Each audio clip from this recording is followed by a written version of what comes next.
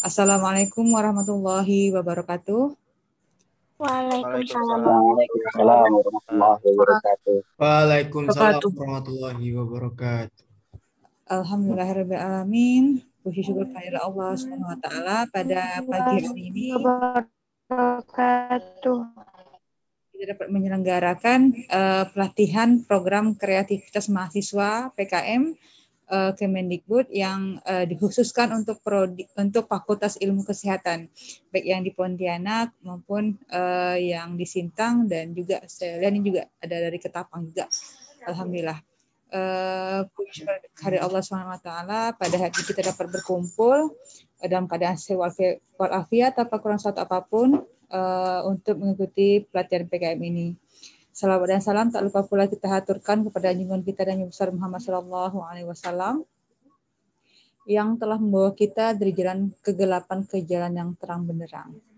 Eh, baiklah, adik mahasiswa dan bapak ibu eh, yang saya hormati, kegiatan PKM ini eh, merupakan eh, kegiatan rutin ya, rutin yang diadakan oleh baik eh, dari Kemendikbud maupun dari eh, UM Pontianak sendiri.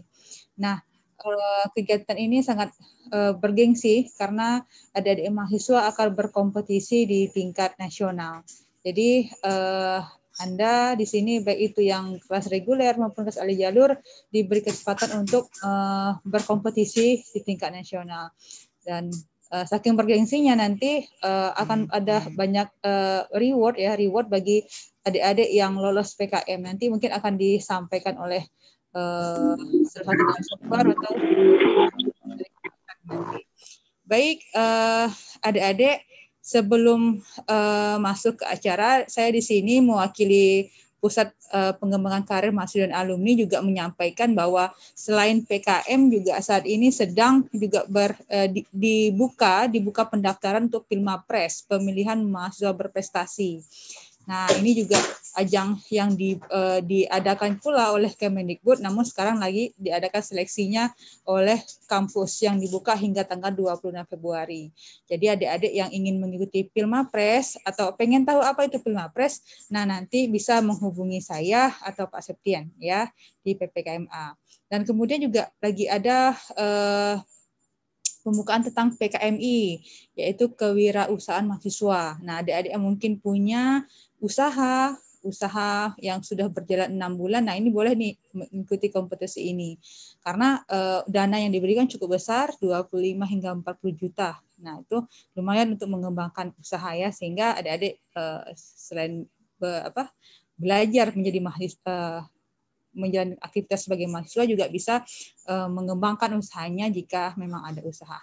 Baik, kita kembali ke topik yaitu PKM. Eh, pada kesempatan ini akan dibuka oleh Bapak Dekan Fikes UM Pontianak yaitu Bapak Ismail Saleh SKMC. Kepada Pak Ismail, waktu dan tempat kami persilakan.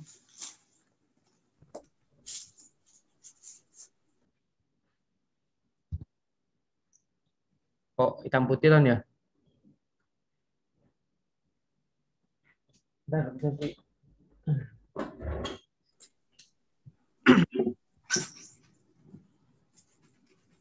Terima kasih Bu Syafi. Assalamualaikum warahmatullahi wabarakatuh. Waalaikumsalam warahmatullahi wabarakatuh. Alhamdulillah wa syukurillah wa salatu ala wassalamu ala Rasulillah. Eh, hadirin yang kami hormati, yang pertama saya mengajak kita semua untuk bersyukur kehadirat Allah Subhanahu wa taala. Tuhan kita yang pada hari ini telah memberikan kenikmatan dan kesempatan yang luar biasa sehingga kita bisa bertatap muka melalui media Zoom ini dalam kondisi sehat walafiat dan semoga Allah senantiasa mengkaruniai kesehatan, kesempatan dan kekuatan bagi kita dalam melaksanakan aktivitas kita sehari-hari di hari ini dan mendapatkan ridho dan berkah dari Dia. Nah, Bapak Ibu sekalian serta hadirin mahasiswa yang saya eh, hormati, salah satu misi dari keberadaan Fakultas Ilmu Kesehatan itu adalah menyelenggarakan pendidikan yang menciptakan lulusan yang kompeten di bidangnya masing-masing, aktif dalam penelitian dan pengabdian dalam bidang kesehatan masyarakat dan juga psikologi. Maka kemudian salah satu implementasinya adalah kami harapkan mahasiswa semuanya ikut serta dalam uh, program kreativitas, kreativitas mahasiswa ini.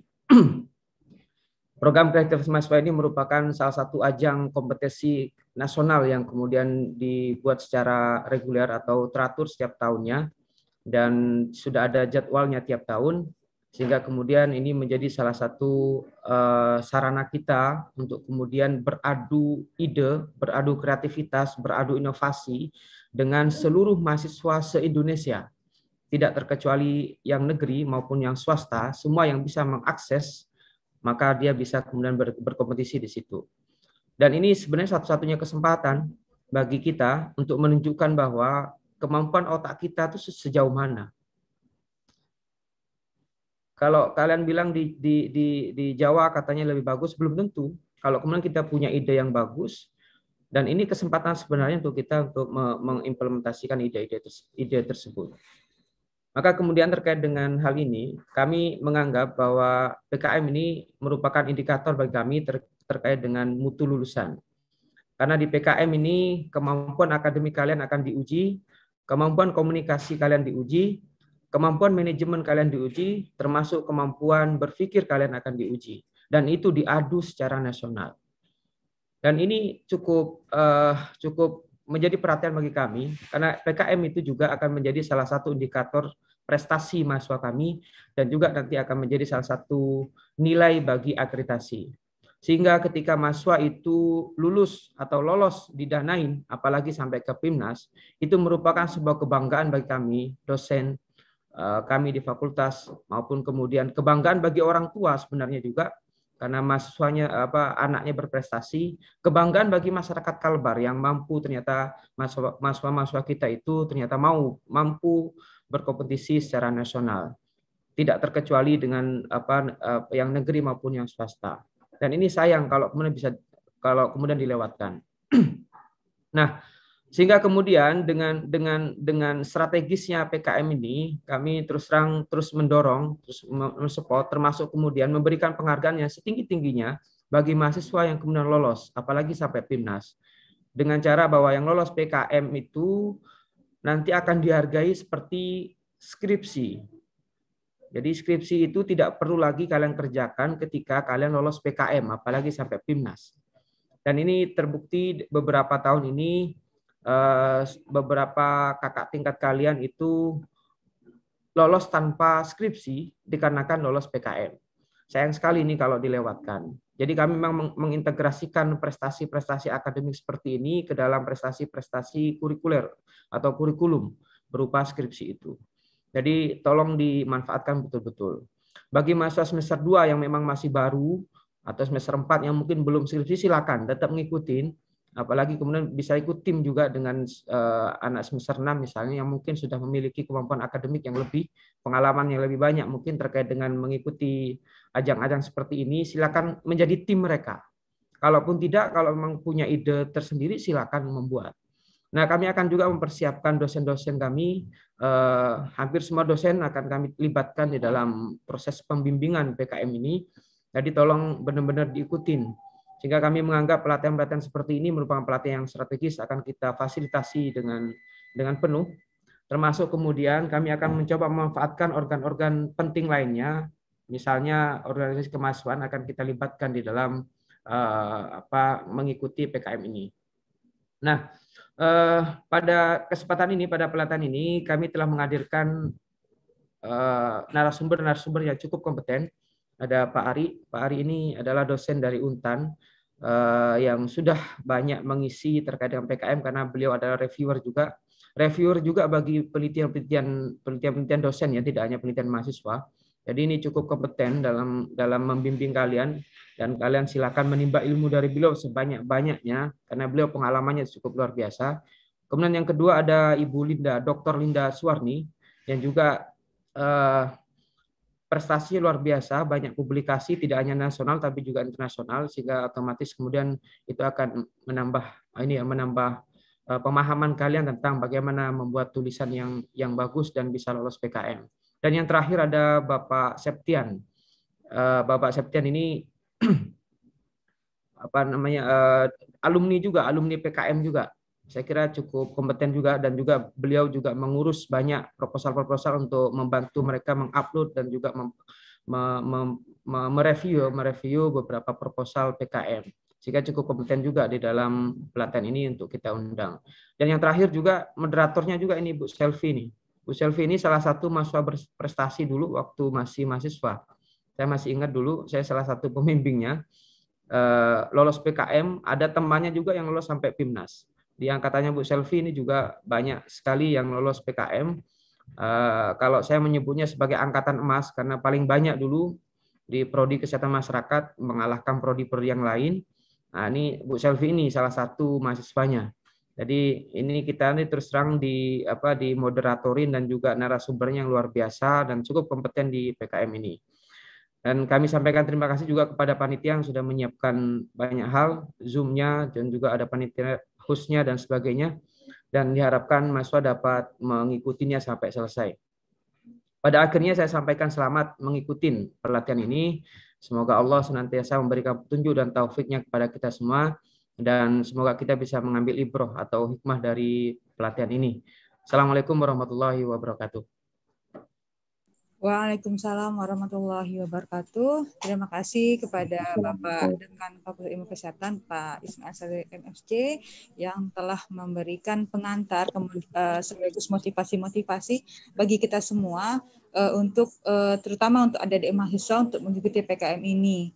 Ya, tadi sudah disampaikan sempat disinggung pula bahwa banyak sekali reward yang akan diberikan kepada adik-adik uh, salah satunya yaitu apabila lolos PKM akan di eh, PKM tersebut akan diakui sebagai skripsi di Fakultas Ilmu Kesehatan ini. Nah, dan ini juga sudah terbukti untuk beberapa angkatan ya, mungkin yang baru-baru ini itu ada uh, sama Deca itu semester 8 saat ini Deca, ada Erin Anggraini dan alhamdulillah di Fikes ya, di Fikes ini banyak yang uh, lolos ya. Untuk tahun ini saja ada enam ada enam dan saya berharap sekali semoga uh, tahun ini tahun ini dapat uh, meningkat lagi ya, dapat meningkat lagi dari Fakultas Ilmu Kesehatan ini. Karena saya di sini juga uh, alumni ya, alumni dari Fikes. Jadi uh, juga pernah merasakan euforia PKM juga.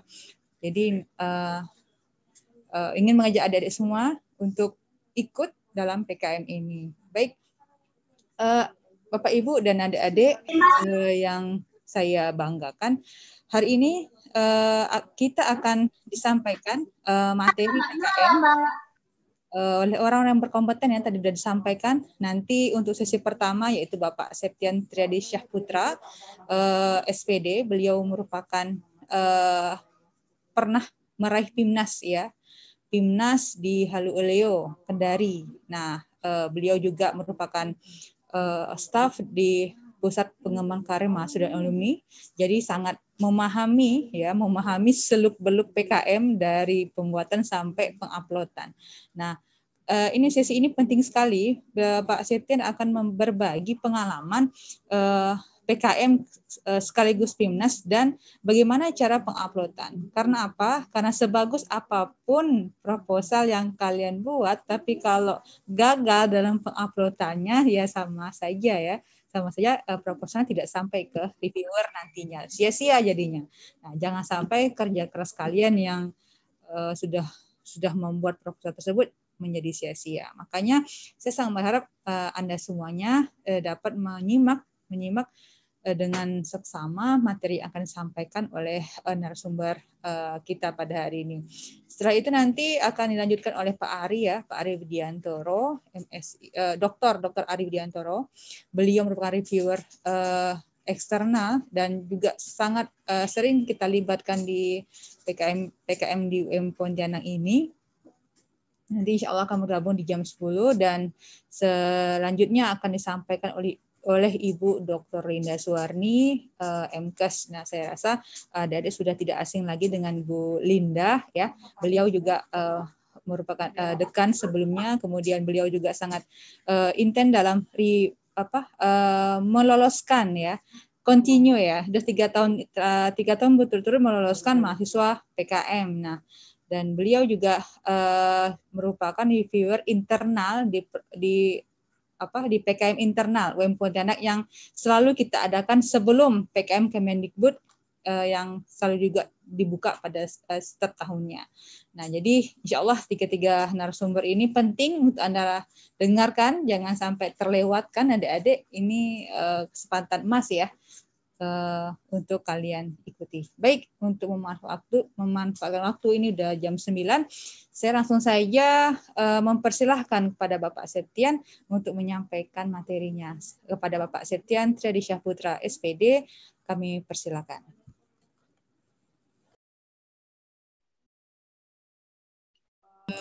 baik, adik-adik um, uh, nanti ya bagi adik-adik yang aktif bertanya akan ada door prize ya, akan ada door prize yang disiapkan oleh uh, fakultas ya dari uh, Kesmas maupun psikologi baik itu Sintang maupun yang Ketapa maupun apalagi yang di Pontianak ya silakan aktif bertanya karena yang aktif bertanya akan kita berikan door prize ya. Oke, adik-adik silahkan mengikuti.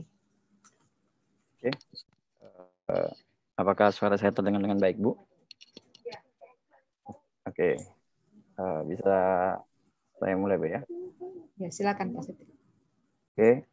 Bismillahirrahmanirrahim. Assalamualaikum warahmatullahi wabarakatuh. Selamat pagi.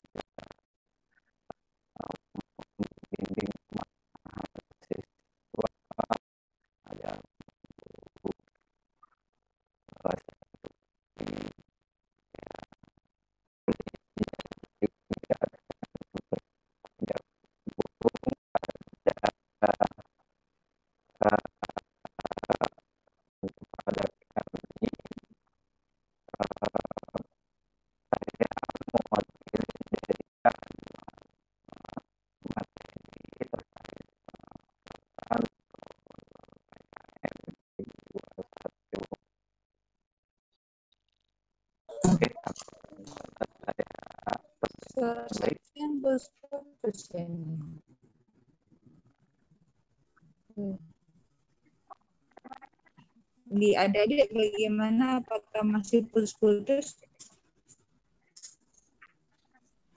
Masih. Suaranya masih putus-putus. Halo. Oke. Uh, patah-patah.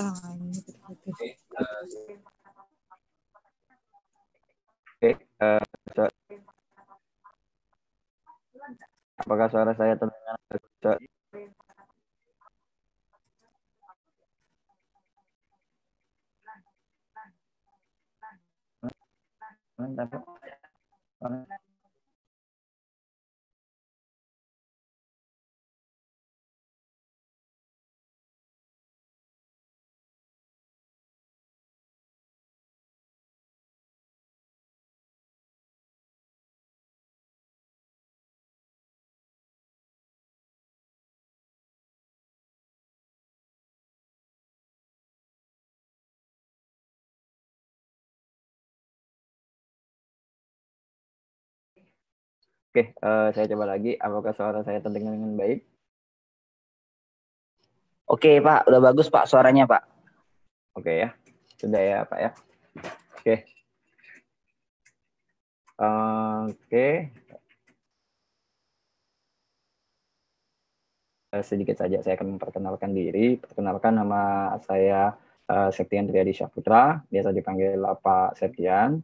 Uh, saya bekerja di bidang kemahasiswaan, khususnya di unit Pusat Pengembangan Karir Mahasiswa dan Alumni. Dan saya juga merupakan salah satu uh, alumni dari Universitas Muhammadiyah Pontianak, tepatnya di Fakultas Keguruan dan Ilmu Pendidikan, program studi pendidikan kimia.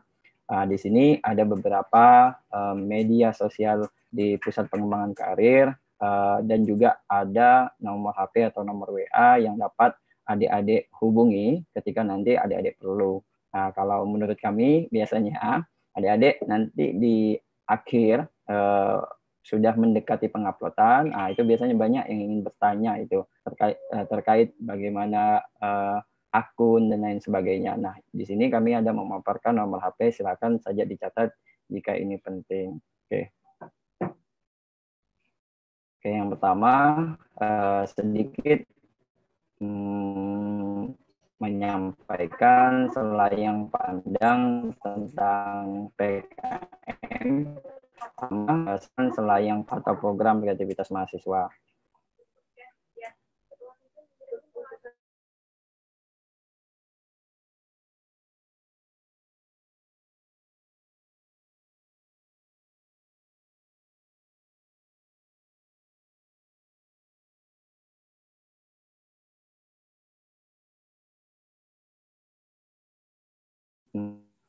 Oke, uh, mohon maaf Apakah suara saya terdengar dengan baik lagi?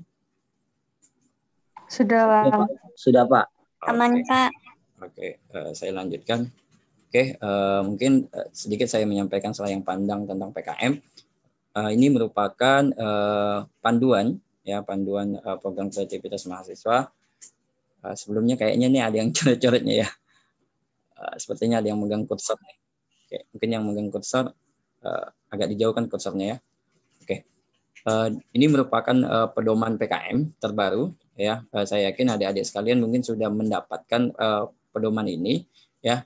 Nah, di sini uh, untuk program kreativitas mahasiswa sama dengan uh, tahun lalu masih ada uh, tiga jenis. Yang pertama ada PKM 5 bidang, yang kedua ada PKM karya tulis, dan yang ketiga ada PKM GFK.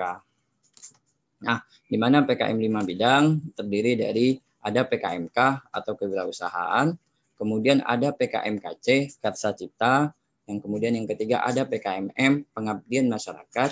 Nah, di mana PKMPM pada tahun lalu itu ada eh, namanya adalah PKMM. Ah, namun pada tahun ini ada penambahan eh, nama yaitu PKMPM. Nah, jangan sampai eh, tidak ditambah apabila adik-adik mengajukan PKM pengabdian. Kemudian yang keempat ada PKMPI. Nah, pada pada tahun lalu PKMPI ini merupakan PKM teknologi atau penerapan teknologi. Namun pada tahun ini ada pergantian nama menjadi PKMPI atau penerapan iptek. Nah, yang selanjutnya eh, PKM riset. Di mana PKM riset pada tahun lalu itu namanya adalah PKM penelitian. Nah, kalau kita baca di pedoman itu kurang lebih sama ya isi dari PKM-nya. Nah, di mana PKM riset ini juga dibedakan menjadi dua. Ada PKM RE, riset eksakta, yang kedua ada PKM uh, eh, RSH, riset sosial humaniora. Nah, yang selanjutnya PKM karya tulis. PKM karya tulis dibedakan menjadi dua. Yang pertama ada PKM GT, gagasan tertulis. Yang kedua ada PKM AI, artikel. Kemudian yang ketiga ada PKM GFK atau gagasan futuristik konstruktif. Nah, pada tahun lalu PKM GFK itu berbentuk insentif ya. Namun pada tahun ini itu berbentuk proposal. Jadi bagi adik-adik sekalian yang ingin mengajukan PKM GFK harus dulu membuat proposalnya. Baru nanti ada pelaksanaan. Nah, apabila lolos. Nah, sekali lagi ada beberapa perubahan penambahan pada pedoman di tahun 2021. Nah, di mana uh, semuanya ini next Bu semuanya ini ada di dalam pedoman. Nah sekali lagi mungkin bagi adik-adik yang masih bingung ya yang masih bingung akan uh, tentang PKM ini seperti apa pada dasarnya pertanyaan-pertanyaan yang ada di benak adik-adik sekalian itu sudah terjawab di dalam pedoman. Nah tinggal adik-adik baca saja lagi ya. Nah, Oke. Okay perlu adik-adik ketahui eh, program kreativitas mahasiswa itu muara akhirnya adalah Pekan Ilmiah Mahasiswa Nasional.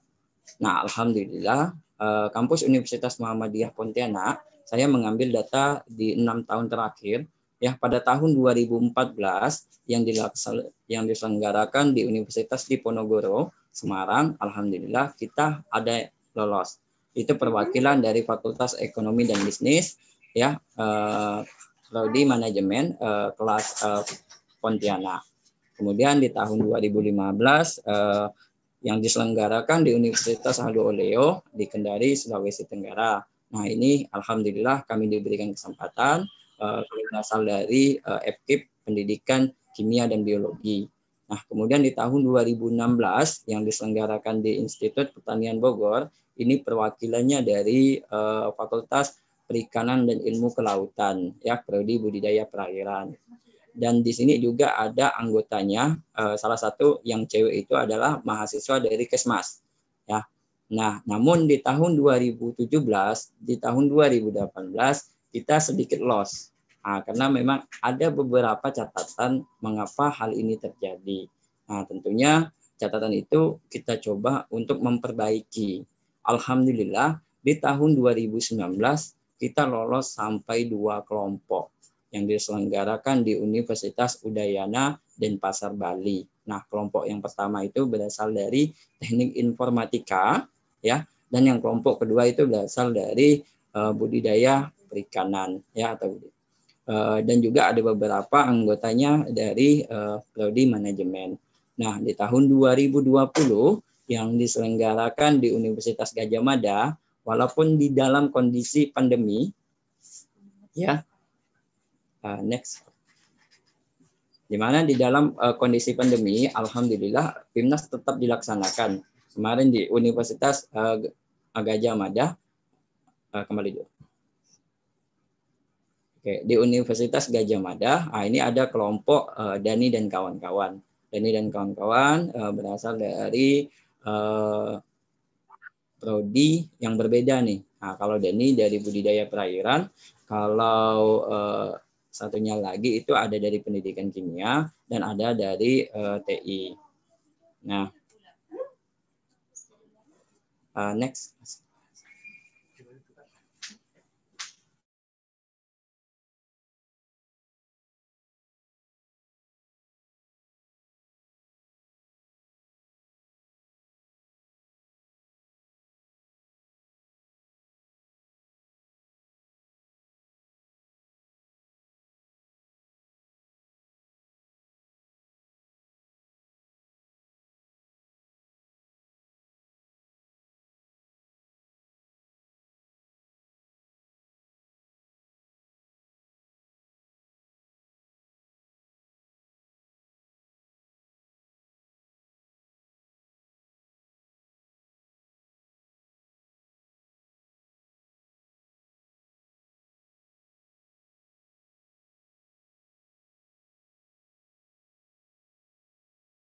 Oke, uh, saya lanjutkan. Uh, mohon maaf, uh, mungkin uh, sedikit koneksi internet dan terputus. Ya.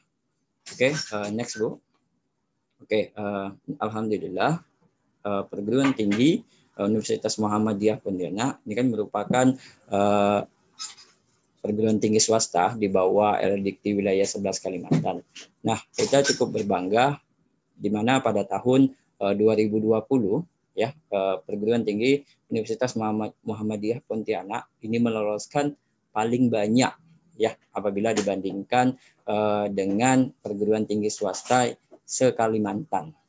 Nah, jumlah yang lolos itu kalau untuk PKM 5 bidang itu ada 9 kelompok. Ya, di mana dari 9 kelompok, 6 kelompoknya itu berasal dari Kesmas.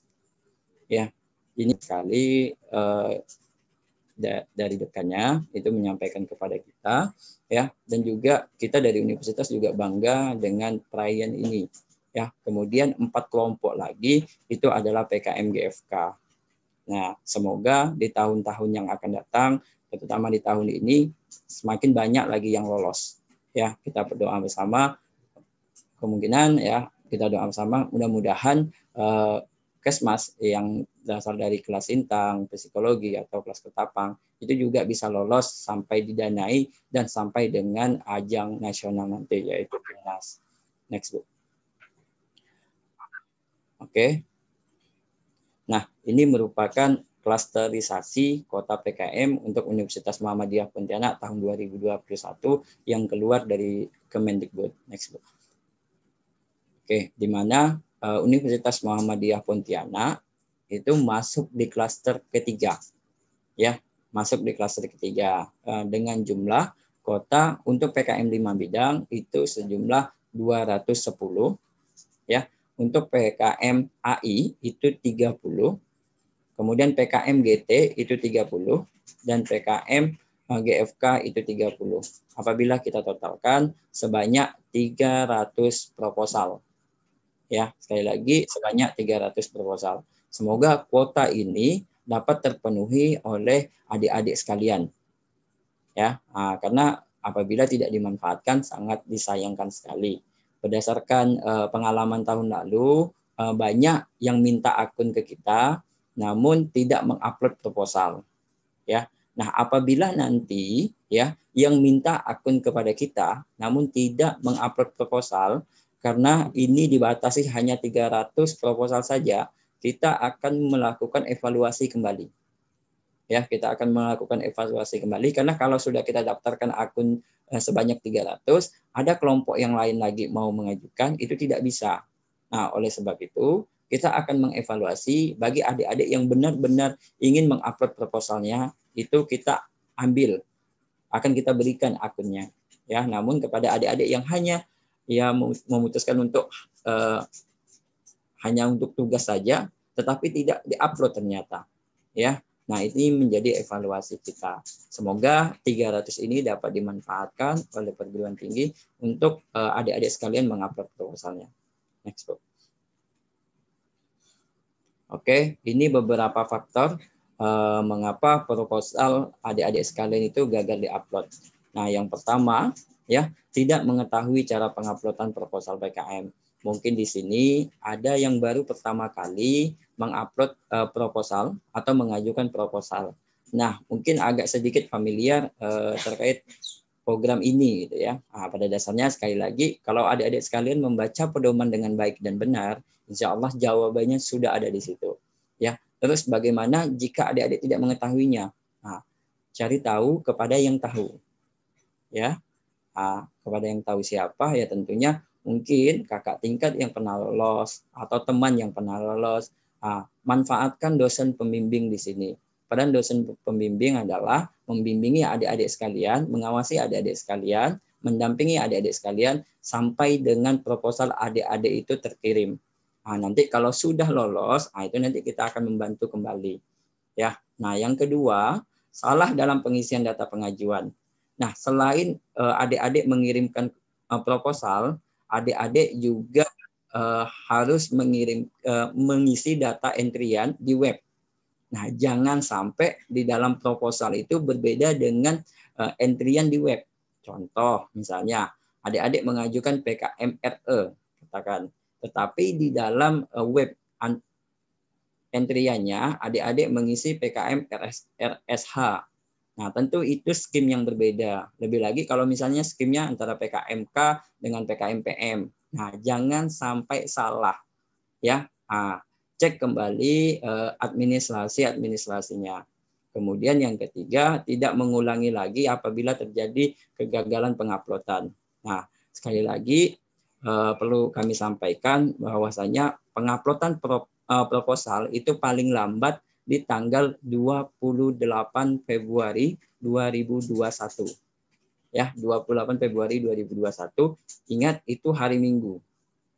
Ya nah kami dari Universitas Muhammadiyah Pontianak itu melaksanakan penguploadan bersama pada tanggal 22 eh, sampai tanggal 26 nah jadi mungkin bagi adik-adik yang berada di kota Pontianak itu bisa langsung ke kampus ya kita akan membantu adik-adik sekalian Nah, bagi yang berada di luar kota Pontianak, mungkin ada yang berada di kampung halaman, insya Allah tadi kami sudah memberikan nomor HP atau nomor WA kami, bisa menghubungi kami. Insya Allah akan kami pandu ya adik-adik sekalian sampai dengan tujuan. Oke, nah biasanya di detik-detik terakhir itu Hamin 3 itu ya server dari pusat itu agak sedikit lambat atau lola. Ya, nah karena ini adalah ajang nasional, kita bayangkan satu pintu itu yang masuk itu adalah seluruh Indonesia. Nah, seluruh, mahasiswa Indonesia. Nah, biasanya kalau udah di detik-detik terakhir itu agak sulit itu dalam penguploadan. Jangankan mau mengupload, masuk aja di webnya aja susah. Gitu. Ya, makanya jauh-jauh hari kalau bisa Hamin 7 di uh, dari tanggal 22 ya sampai tanggal 26 itu manfaatkan untuk adik-adik mengupload. Ah, jangan lagi nanti baru bersibuk nak minta akun. Ah, uh, pengalaman tahun lalu di detik-detik di detik-detik terakhir di mana adik-adik sekalian uh, banyak yang ingin mengupload, ternyata masih ada juga yang mau minta akun. Nah, nanti akan saya jelaskan bagaimana cara meminta akun. Nah, yang terakhir jangan sampai melewati batas akhir penguploadan. Uh, untuk tahun ini ya kami masih juga um, mencari informasi apakah ada perpanjangan atau tidak. Namun uh, sepengetahuan kami ya sampai saat ini itu masih di tanggal 28 Februari 2021. Nah, manfaatkan waktu ini. Masih ada uh, 12 hari ke depan untuk adik-adik memanfaatkan. Oke, empat empat faktor ini yang biasanya yang menyebabkan kegagalan penguploadan proposal PKM. Nah, kemudian eh, tahapan mendapatkan akun PKM. Nah, ini juga eh, perlu adik-adik ketahui. Ya, bagi adik-adik yang ingin mengajukan PKM dan mungkin di sini juga kemarin ya kami mengucapkan selamat kepada adik-adik yang sudah lolos PKM internal UM Pontianak di tahun 2020 yang tahun lalu. Nah, untuk pengajuan PKM di tahun 2021 kami mengucapkan selamat dan kami juga sudah menyampaikan yang lolos kemarin ya yang diberikan insentif itu diwajibkan untuk mengajukan PKM ya dengan proposal yang sudah uh, dinilai oleh reviewer dan sudah ada beberapa catatan dari panitia. Nah, yang pertama, ini khusus untuk semuanya, mahasiswa menuliskan atau mengirimkan data pada admin masing-masing prodi. Nah, mungkin kalau yang dari Pontianak ya, yang dari Kesmas kelas Pontianak itu uh, bisa menghubungi uh, Pak Anton atau Bu Sri ya. Uh, kemudian kalau yang dari Sintang silakan hubungi admin yang berada di Sintang. Kemudian kalau yang psikologi itu dapat menghubungi Bu Saida. Nah, mungkin yang Ketapang bisa menghubungi admin yang Ketapang atau yang ada di uh, Kota Pontianak.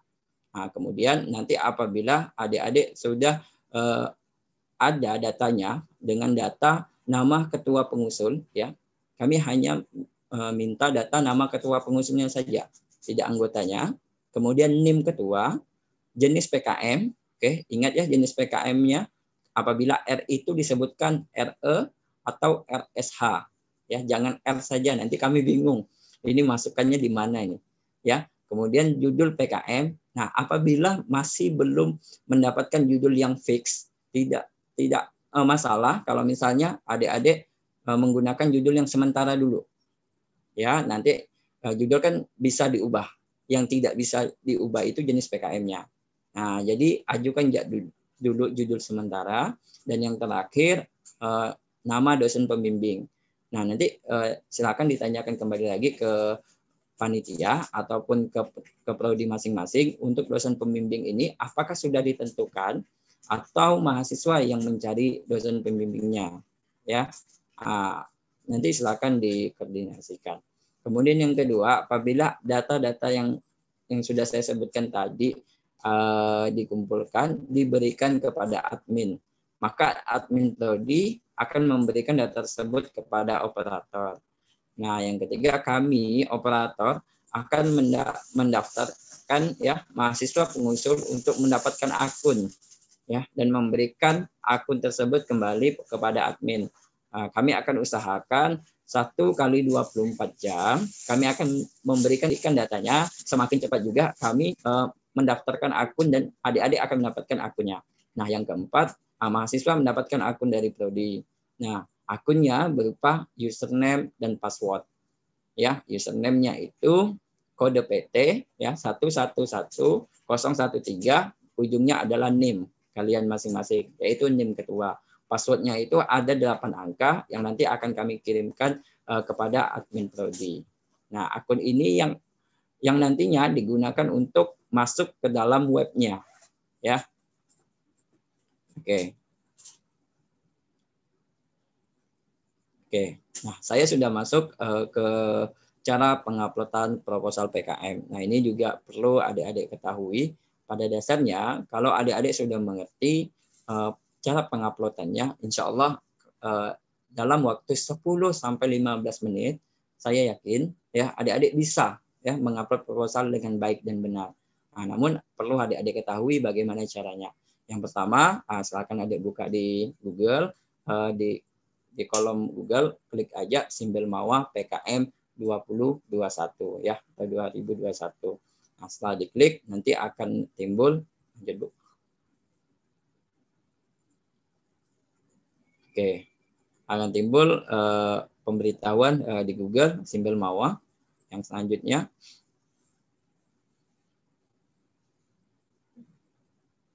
Oke, nanti setelah uh, masuk di uh, simbol mawanya, ya, nah, ini merupakan tampilan awal dari beranda simbol mawa. Ya, di sinilah uh, beberapa program yang ditawarkan dari Kemendikbud untuk mahasiswa. Salah satunya adalah PKM ini. Nah, di kolom kanan atas ada login SIM. Lanjut, Bu. Ada login SIM. Oke, nah, yang di tanda panah yang yang di ada kolom uh, peta itu, nah, itu ada login SIM. Silakan ada adik klik. Lanjut, Bu. Oke, apabila adik-adik klik, maka akan timbul uh, beranda seperti ini, yaitu memasukkan username dan password atau akun yang tadi adik-adik dapatkan dari admin prodi. Nah, silakan masukkan, nanti ada angka penam penambahan untuk itu fungsinya untuk validasi. Kemudian tampilan beranda simbol mawar. Nah, ini merupakan tampilan awal uh, dari ketua kelompok ya. Ini yang memegang akunnya adalah ketua kelompok maka beranda identitasnya adalah identitas ketua kelompok. Oke, ini kemarin saya uh, gunakan uh, punya mahasiswa dari Fikes ya. Nah, ini uh, caranya yang pertama klik pengajuan usulan pada kolom pada kolom utama simbol mawa. Nah, di situ ada pengajuan uh, identitas ya atau pengajuan usulan. Nah, oke, di situ ada kolom pengajuan usulan. Nah, apabila kita klik, maka akan timbul nanti identitas usulan yang ada di bawahnya. Next. Oke, lagi Bu. Oke, di sini ada identitas usulan. Nah, di identitas usulan lah nanti adik-adik sekalian akan mengedit data uh, ketua pengusul ya atau ketua uh, kelompok dan anggota-anggotanya. Ya, next.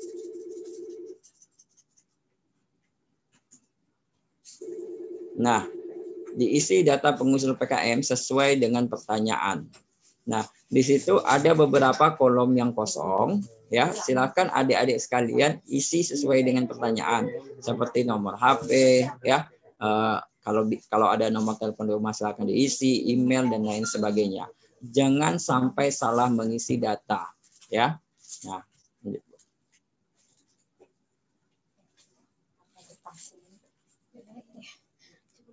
Oke. Apabila mau mengganti judul PKM, silahkan klik di kolom judul. Namun jenis PKM tidak bisa diganti. Nah, sekali lagi saya sampaikan, ketika adik-adik memberikan data adik-adik sekalian ke admin prodi, pastikan dulu jenis PKM-nya tidak berubah. Ya, apakah PKMK, PKMM, ya, eh, PKMKC dan sebagainya, PKM GFK, jangan sampai salah ya. Karena kalau misalnya terjadi eh, kesalahan, itu yang yang hanya bisa menggantinya dari operator uh, eh, PT ya. Operator PT akan mengkonfirmasi ke operator pusat. Nah itu urusannya agak sedikit panjang lagi tuh. Dan biasanya uh, ya respon dari operator pusat karena mungkin sibuk itu agak lama. Nah sekali lagi jangan sampai salah ya. Nah kalau judul itu masih bisa diubah ya. Apabila adik-adik ingin mengganti judul atau menambah atau mengurangi judul itu masih bisa. Oke. Di situ ada kolomnya.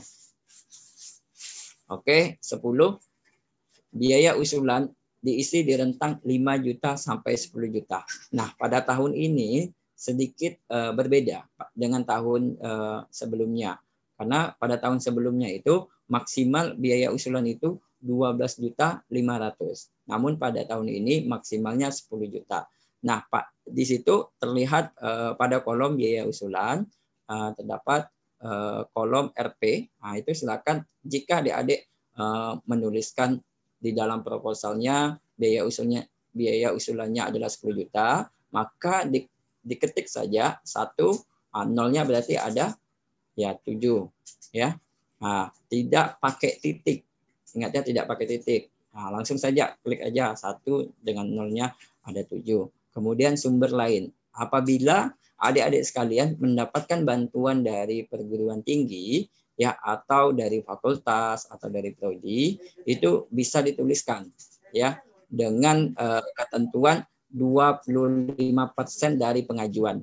Misalnya adik-adik mengajukan 10 juta, berarti maksimal bantuan dari uh, misalnya perguruan tinggi, fakultas, prodi itu berarti 2 juta 500. Ya. Nah, silakan mungkin ya ada uh, fakultas atau prodi yang bisa menambahkan ya sumber uh, pendanaan dari adik-adik sekalian. Silakan informasi. Kemudian nah, di situ ada pilihan bidang tadi ya. Uh, pilihan bidang nanti disesuaikan saja uh, dengan bidang adik-adik sekalian. Itu hanya pilihan ya tidak diisi.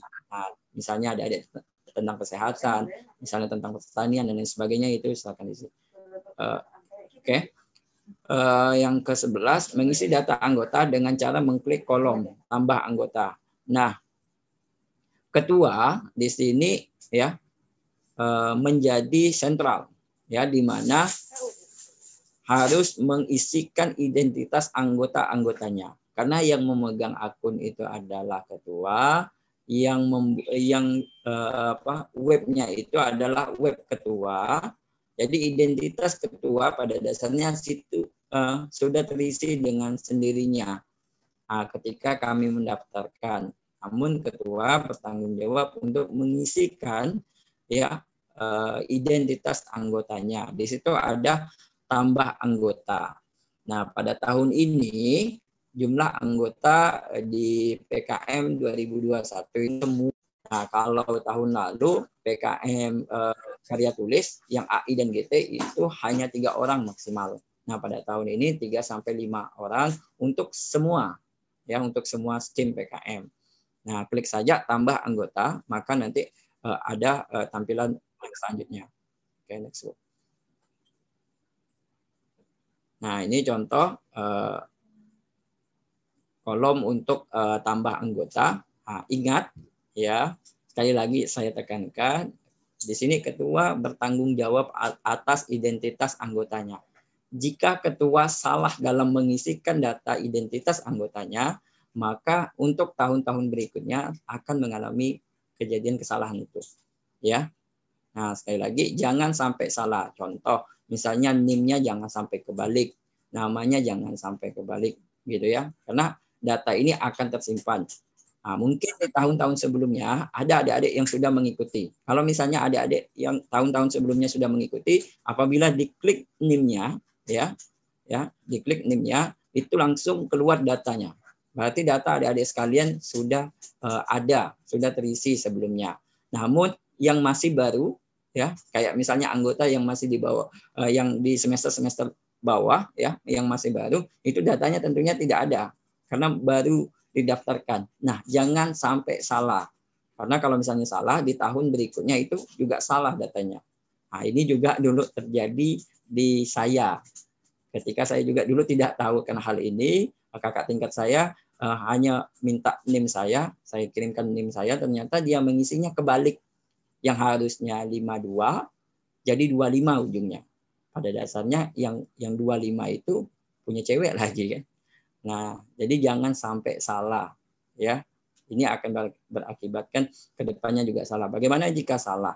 Nah, jika salah, maka operator dari PT itu akan mengkonfirmasi operator pusat untuk menggantinya atau menghapusnya kembali. Ya, itu sekali lagi prosesnya biasanya agak lama. Oke, kalau sudah diisi datanya, silakan disimpan. Ingat ya, anggota eh, ketua itu tidak terhitung anggota.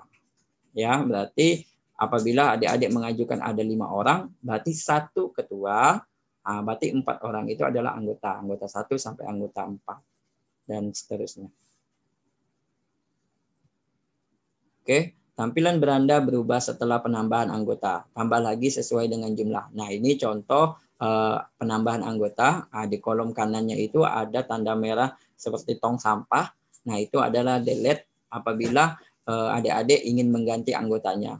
Dia di sini enggak ada kolom edit, hanya kolom delete. Apabila terjadi kesalahan, silakan diulangi kembali. Oke, lanjut Bu.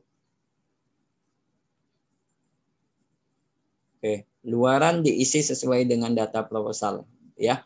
Nah, di proposal ya di, di proposal adik-adik sekalian pada uh, empat itu adalah luaran yang diharapkan. Silakan lagi dicek di pedoman yang terbaru ya. Uh, di pedoman yang lama itu satu titik empat itu ada luaran yang diharapkan ya di dalam proposal adik-adik sekalian. Nah, luaran yang diharapkan di dalam proposal itu juga dituliskan ya uh, pada kolom web ini. Ya, misalnya di situ ada urut satu, berarti urut satu luarannya misalnya luarannya itu adalah laporan kemajuan, simpan. Kemudian klik lagi urut dua, misalnya laporan akhir, simpan. Kemudian yang ketiga, ya jurnal atau artikel ilmiah, ya atau jurnal ilmiah yang dipublikasi di mana, sebutkan. Nah, statusnya apa? Misalnya bersinta, nah, semakin tinggi sintanya semakin bagus, gitu ya. Misalnya bersinta dua, ya senta tiga dan sebagainya atau berindeks uh, Scopus dan lain sebagainya. Silakan dikomunikasikan dengan dosen pembimbing. Ya, semakin banyak luaran yang diharapkan, semakin bagus juga penilaiannya. Ya, next Bu. Nah, apabila data sudah terisi semua, maka klik kolom selesai pada bagian bawah. Nah, uh, sekali lagi, ini jangan lupa adik-adik sekalian mengklik kolom selesai. Karena apabila adik-adik sekalian uh, lupa mengklik kolom selesai, data adik-adik sekalian itu belum tersimpan. Ya, nah, kecuali adik-adik sudah mengklik kolom selesai secara otomatis, data adik-adik sekalian itu sudah tersimpan dengan baik dan benar. Oke, pastikan lagi sebelum mengklik selesai datanya sudah baik dan oke.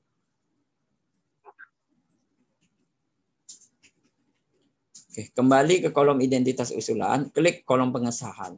Nah, di tahun 2019 ke bawah, ya, dulu menggunakan cover dan lembar pengesahan, ya, dulu. Nah, namun di tahun 2020 20 di tahun kemarin cover dan lembar pengesahan itu sudah tidak digunakan, ya. Nah, kemungkinan ini juga berlaku sampai ke tahun-tahun yang akan datang. Ya, cover dan lembar pengesahan itu tidak digunakan Ya, jadi adik-adik jangan lagi membuat uh, cover dan lembar pengesahan di dalam proposalnya. Nah, itu udah tidak taat aturan. Ya, itu udah tidak taat aturan dan itu udah karena penilaian pertama ya eh, pada proposal itu adalah administrasi, bukan isi. Ya, kalau ada administrasinya tidak sesuai dengan pedoman, jangankan mau dibaca isinya. Gitu. Sekali lagi kami tekankan jangan sampai salah. Ya, Nah, apabila adik-adik mengklik pengesahan, maka nanti akan timbul data seperti ini. Next. Nah, ini pada dasarnya memudahkan kita. Kalau yang dulu harus membuat lembar pengesahan, nah sekarang itu secara otomatis lembar pengesahannya itu sudah dibuat oleh web. Ya, kita hanya mengentry datanya. Nah, di sini uh, nanti ada kolom uh, yang kosong, silakan diisi ya sesuai dengan pertanyaan. Next, Bu. Saya ambil contoh, misalnya kolom yang kosong itu, oke Bu. Ya, ini di kolom eh, biaya usulan itu kosong. Nah, silakan adik-adik tuliskan berapa biaya usulannya. Kemudian jangka waktu pelaksanaan. Nah, berdasarkan pedoman yang terbaru itu 2 sampai 4 bulan. Kalau pedoman yang lama 3 sampai 5 bulan. Jangan ada lagi yang 5 bulan. Nah, untuk yang PKM internal, kemarin kan banyak tuh pelaksanaannya itu lima bulan. Ya, nah, jangan, jangan lupa diubah. Ya, khawatirnya gara-gara jangka waktu pelaksanaannya salah, nah itu akan mengakibatkan proposal kalian tidak lolos. Oke, kemudian di situ ada kota. Nah ini kota perguruan tinggi ya karena eh, PT atau perguruan tinggi Universitas Muhammadiyah Pontianak berlokasi di Pontianak, jadi tulis aja Pontianak. Nah, di sampingnya itu ada tanggal itu sesuai dengan uh, adik membuka webnya. Ya, ada adik membuka webnya pada tanggal berapa di situ tertera tanggalnya. Kemudian di uh, kolom kiri di situ ada yang menyetujui. Yang pertama ada wakil pembantu dekan. Next. Nah, di mana wakil pembantu dekan uh, sekarang masih Ibu Marleni ya. Nah, di situ saya uh, tuliskan Ibu Marleni Wati ya, SSI MKM ya. Nah, ingat di situ diminta NIP atau NIK ya. Nah, karena kita di perguruan tinggi ini menggunakan NIK, nah, di situ uh, juga sudah saya tuliskan NIK Ibu Marlen ya. Kalau misalnya kalian lupa, nah, silakan uh, dicatat ya Nah, karena uh, dosen itu memiliki dua, ada NIK, ada NIDN. Ya, yang NIDN itu agak sedikit pendek, ya. Kemudian yang di bawahnya, next book. Kemudian yang di bawahnya ada wakil rektor bidang kemahasiswaan. Nah, ini adalah Bapak Dr. Mawali MM, ya. Nah, NIK beliau yang sudah ada uh, di layar kita. Ya, jangan sampai salah nama, jangan sampai salah NIK. Ya, Nah, karena datanya akan divalidasi. Oke, yang 19. Nah, di sini ada kolom uh, penguploadan proposal di sebelah kanan sekali. Itu ada kolom proposal. Nah, ingat, ketika adik-adik ingin mengupload uh, proposal itu dalam bentuk PDF. Ya, jangan lupa mengganti nama file. Karena ini sering terjadi eh, PKM internal kemarin ada juga ya namanya uh, nama filenya tidak diganti. Saya ambil contoh mereka menuliskan PKM siap kirim, kemudian PKM eh, oke okay, ya, uh, ah, PKM dan lain sebagainya. Itu identitasnya nggak jelas. Ya, uh, sekarang itu kan udah diberikan ketentuan uh, namanya itu misalnya tuliskan nama ketuanya underscore nama PT underscore uh, jenis PKM. Contoh misalnya Septian Triadi Saputra underscore Universitas Muhammadiyah Pontianak underscore PKMPM. Nah, itu misalnya. Jangan sampai lupa diganti. Oke. Kalau sudah dijadikan, ah, itu di kolom uh, kanan ya, yang ada di kolom itu. Oke, next. Nah, apabila sudah diganti, silakan diupload. Nah, di sini, nah ada tanda merah. Next, Oke. Oke, di sini ada tanda merah. Uh, kembali, Bu. Oke. Di sini ada tanda merah, ya. Apabila adik-adik sudah berhasil mengupload, maka akan ada tanda merah itu. Ya. Nah, itu bukti bahwa adik-adik sudah mengupload proposalnya. Ya. Nah, apabila belum ada, nah, maka penguploadan proposalnya belum terkirim. Ya. Kalian bisa mengkonfirmasi kami operator apabila ingin memastikan apakah proposal kalian ini sudah terkirim atau belum, itu bisa. Ya. WA saja nanti kami eh, tanya kepada kami apakah proposal saya sudah terkirim apa belum. Nah, nanti kami akan eh, mengecekkan kembali ya karena data juga masuk ke operator perguruan tinggi. Nah, apabila sudah alhamdulillah proposal kalian sudah terkirim. Ya. Nah, tugas kalian eh, langsung mengkonfirmasi dosen pembimbingnya untuk segera divalidasi. Ya, karena eh, validasi ini akan bertingkat ya dari dosen pembimbing Kemudian nanti ada validasi perguruan tinggi yang dilakukan oleh wakil rektor 3. Nah, sekali lagi mengupload jangan di detik-detik terakhir. Karena beri waktu untuk dosen pembimbing ini memvalidasi. Nah, bayangkan kalau misalnya adik-adik menguploadnya di detik-detik terakhir, jam 10, jam 11 lewat, malam gitu kan. Kapan lagi dosen pembimbingnya mau memvalidasi? Kapan lagi perguruan tingginya, wakil rektor tiganya untuk memvalidasi? Oleh karena itu, kami mengajak adik-adik sekalian untuk mengupload bersama ya di tanggal 22 sampai di tanggal 26 Februari 2021.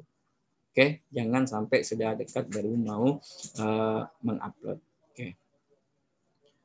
Oke, mungkin itu uh, penyampaian uh, terkait uh, penguploadan. Di sini sedikit informasi, ada juga program dari Kemendikbud yaitu uh, program PKMI atau program kewirausahaan mahasiswa Indonesia.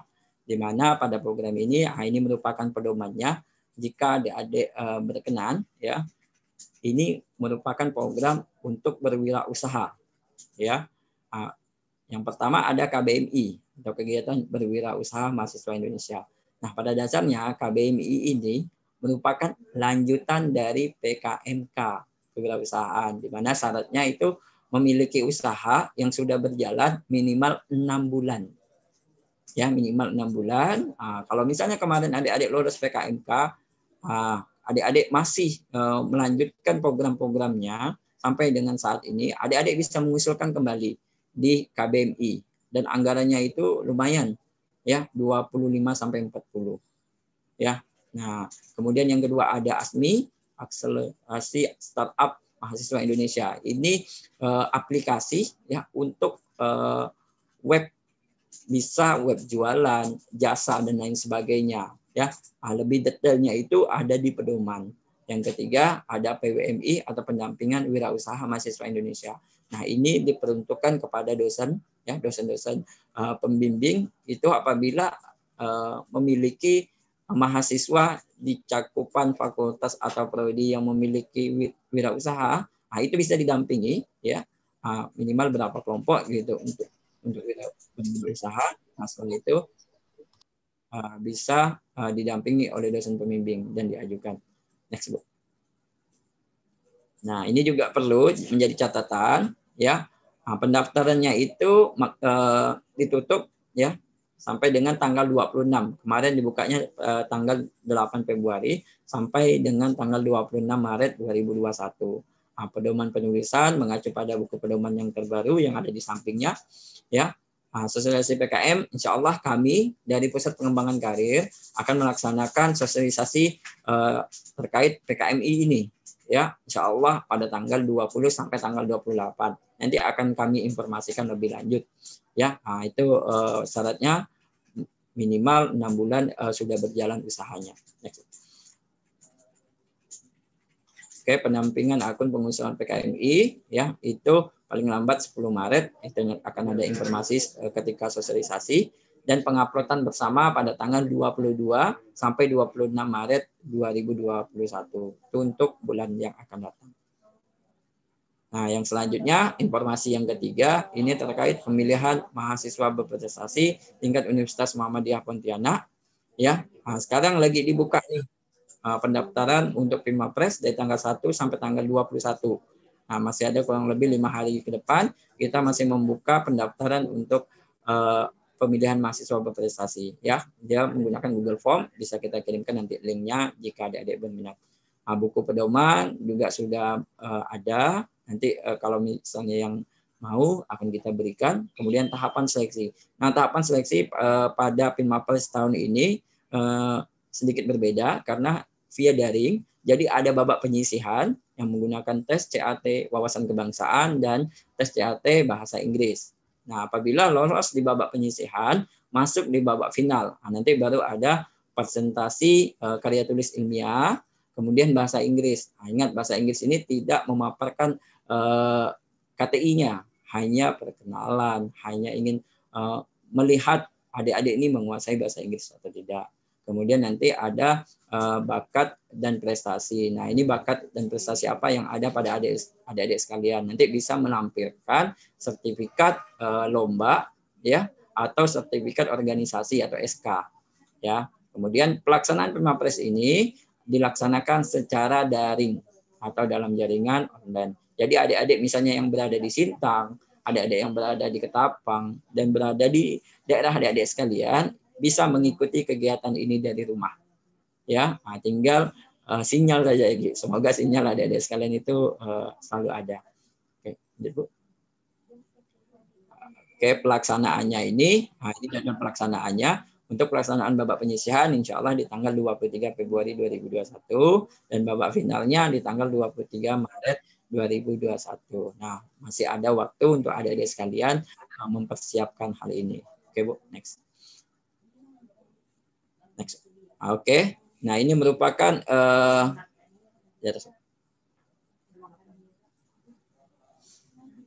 Oke, okay. there's Iya. Pokoknya.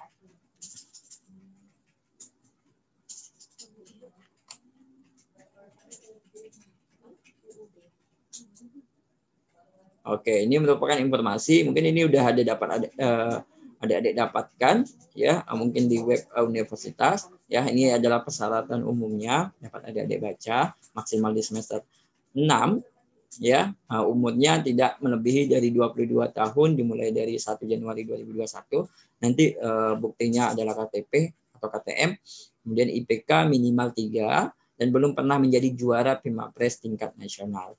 Nah, ini merupakan reward apabila adik-adik mendapatkan juara ya. Uh, apabila adik-adik sudah masuk ke babak final, itu akan mendapatkan seluruh peserta akan mendapatkan sertifikat dan uang pembinaan. Oke, mungkin hanya itu informasi yang dapat kami sampaikan dan untuk pemaparan materi terkait penguploadan PKM, semoga kita berdoa bersama, kita berusaha bersama, semoga di tahun ini banyak lagi yang mengajukan PKM dan banyak lagi yang lolos uh, proposal PKM dan didanai sampai dengan ke. Oke, terima kasih. Saya kembalikan lagi kepada moderator, pada Ibu Sylvia.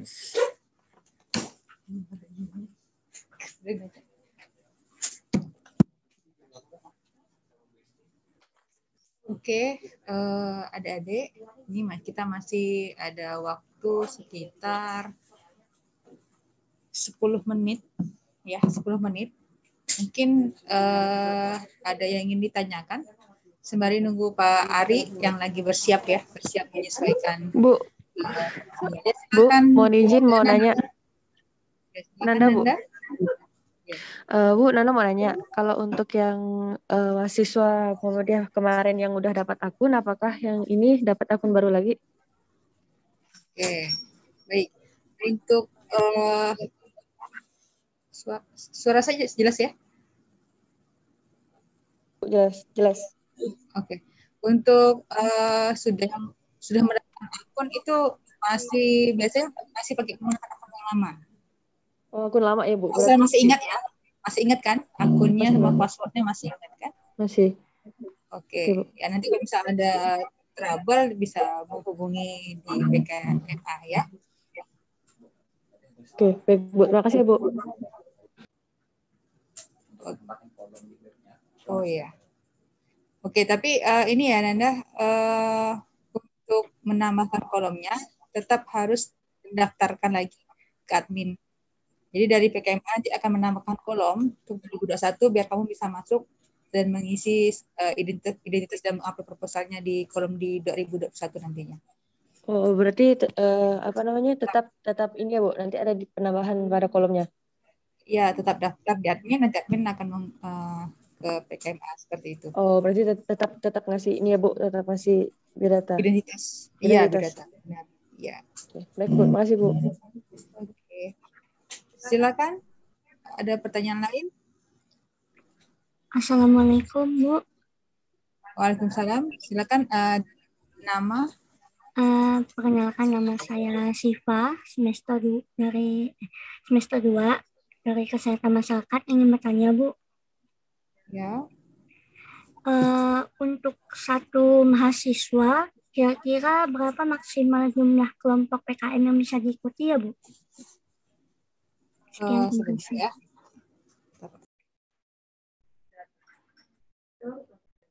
Oke, apakah suara saya terdengar? Halo?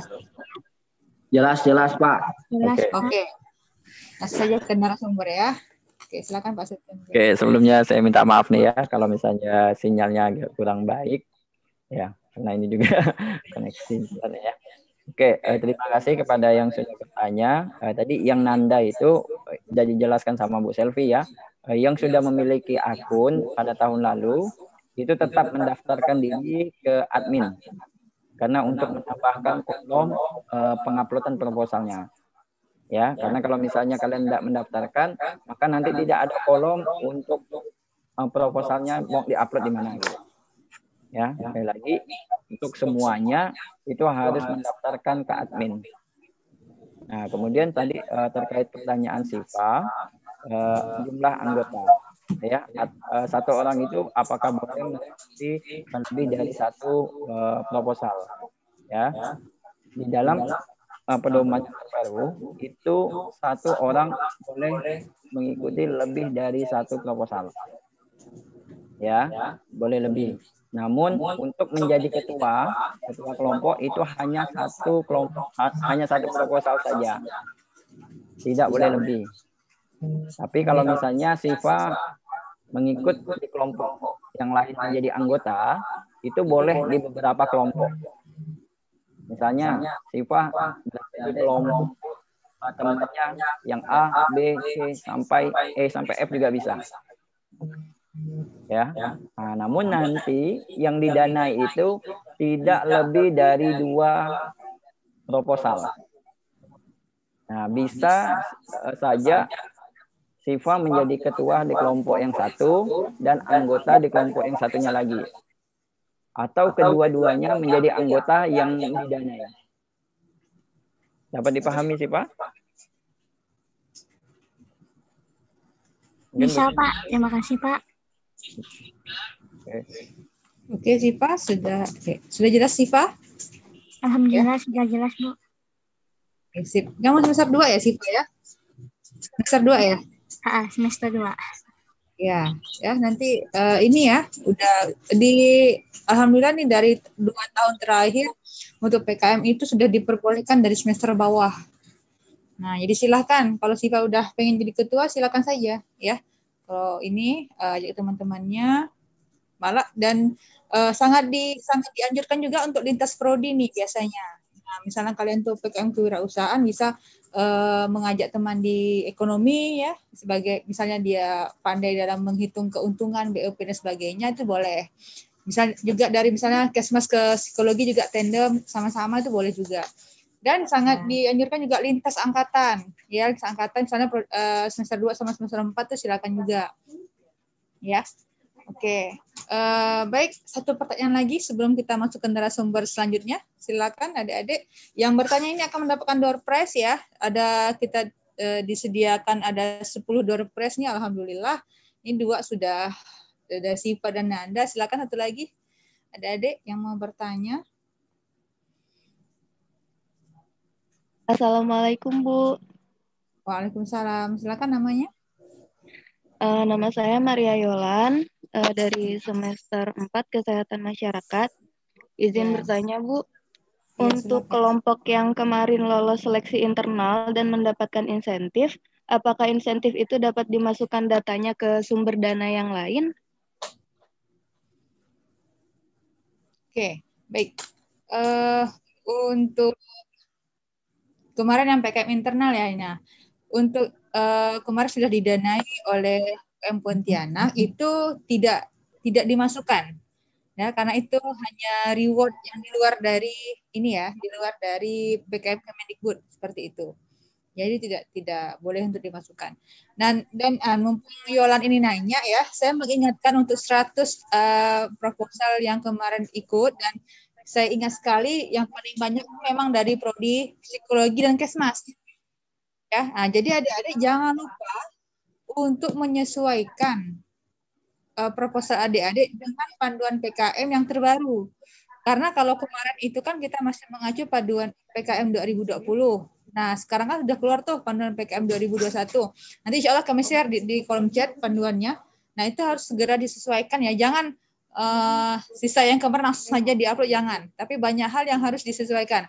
Seperti kalau PKM PM uh, namanya saja udah berbeda ya kan. Kalau kemarin ada PKMM, sekarang ada PKMPM. Kemudian untuk tanggal mungkin, tanggal tanggal kerja sama mitra. Nah, mungkin kemarin udah terlalu lama ini tahun 2020, nah diubah tanggalnya menjadi 2021. Dan masih banyak hal lain yang harus disesuaikan, termasuk pendanaan. Ya, dan metode juga, metode uh, yang disesuaikan ada yang via uh, daring dan boleh juga luring uh, tapi dengan luring uh, dengan protokol kesehatan yang ketat itu yang disebutkan kemarin. Jadi ada harus menyesuaikan dengan panduan PKM 2021. Oke, okay, uh, baik. Uh, Yolan, gimana? Uh, sudah jelas? Sudah jelas, Bu. Terima kasih. Uh, Alhamdulillah.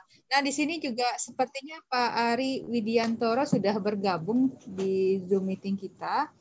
Assalamualaikum Pak Ari. Waalaikumsalam warahmatullahi wabarakatuh Bu Selviana dan semuanya Bapak Ibu dosen UMP, adik-adik mahasiswa. Alhamdulillah. Sehat Pak Ari? Alhamdulillah. Sehat Pak ya. Oh ya Pak, uh, selamat Pak ya. Ini Untan Alhamdulillah uh, masuk ke enam enam perguruan tinggi ya. iya, iya uh, makasih. Peringkat enam sekolah nasional kemarin Pimnas Masya Allah kami uh, apa merasa tetangganya Untan itu masuk ber, ber, berbahagia juga Pak. Sama-sama kasih Bu. Uh, ya Pak Ari juga sebagai uh, bagian dari kemahasiswaan Untan yang juga sering sering apa berkontribusi pada kami juga mendampingi kami.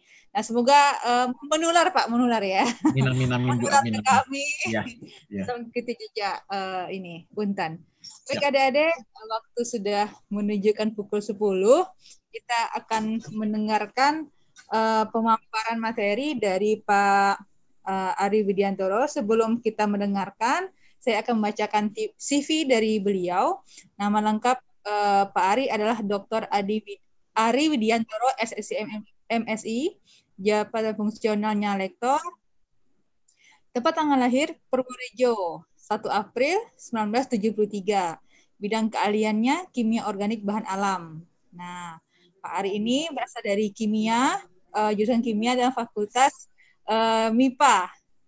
Alamat kantor beliau di Untan, uh, pastinya kita sudah tahu ya Untan di mana. Nah, beliau di uh, uh, fakultas MIPA-nya.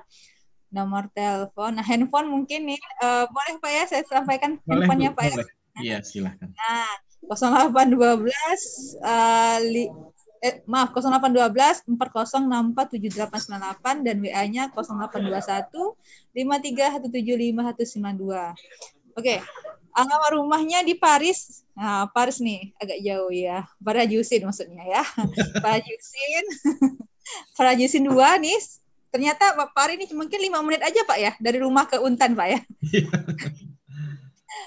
Uh, Paris 2, Komplek Puri Akcaya 3, nomor F14. Nah, uh, kemudian beliau S1-nya di Undip. Nah, sama Bu Linda juga di Undip nih. Ya. S2-nya di Unpad di Bandung. Wah, apa nih jalan-jalan nih pendidikannya? Semarang, Bandung, dan Yogyakarta. Wah, Masya Allah. Jawa Tengah, Jawa Barat, kembali ke Jawa Tengah lagi, Yogyakarta ya. Oke, baik. Ini banyak sekali pengalaman penelitian beliau. Ini kalau saya sebutkan nih uh, bisa bisa lama ini. Dan beliau merupakan uh, uh, penghargaannya ini dosen berprestasi ya dan beliau alhamdulillah pada tahun 2020 kemarin mengantarkan uh, Untan menjadi masuk ke peringkat ke-6 ya, 10 terbesar uh, peraih uh, medali di PIMNAS tingkat nasional. Oke, baik. Inilah uh, Pak Ari Widiantoro. Saya persilahkan pada Pak Ari untuk menyampaikan materinya. Silakan Bapak. Uh, baik, terima kasih uh, moderator Ibu Selviana. Uh, Assalamualaikum warahmatullahi wabarakatuh. Uh, Bapak Ibu dosen UMP, ini kolega-kolega riset, kolega-kolega pengabdian, kolega-kolega diskusi yang lainnya. Bu Selviana, Pak Septian, Bu Linda tadi saya juga lihat, terus beberapa dosen uh, di apa videonya terlihat juga, sama adik-adik mahasiswa. Uh, tadi selamat ya sudah nabung 100 proposal lolos internal itu sudah bagus sekali, bagus sekali. Tinggal yang 100 ini didampingi, didampingi kemudian eh, apa info selanjutnya untuk yang sampai 28 kan bisa dibuka gelombang kedua ya. Gelombang keduanya untuk internal UMP sehingga nanti akan tambah lagi karena eh, klaster dari jumlah kuota klaster itu naik ya. Kalau klaster 2 itu kemarin 425 sekarang jadi 510.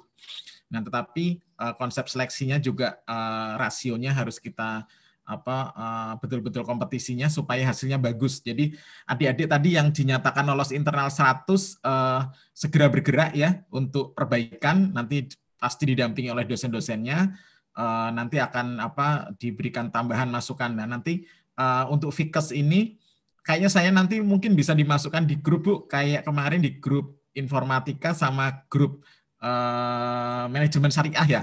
Manajemen syariah. Tapi kalau yang uh, informatika kemarin ini uh, apa namanya sharing pengalaman aja itu kita sampai WA-an jam 11 malam karena Pak Azrulnya itu ramai sekali jam 11 malam kita masih WA-an terakhir itu jam satu malam.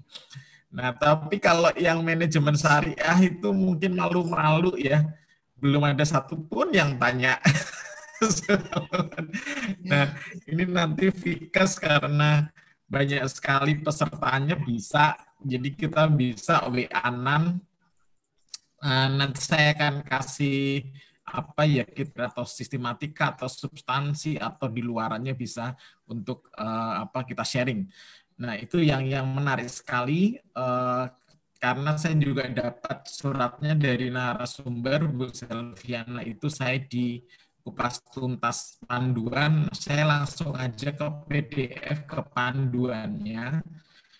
Karena ternyata uh, dari beberapa sharing pelatihan coba namanya juga PowerPoint ya garis besar. Ternyata mahasiswa tidak mau baca panduan tapi baca slide.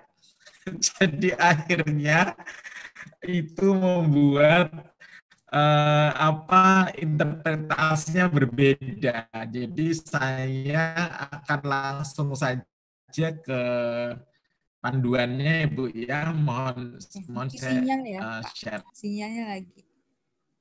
Oh, delay kah Bu?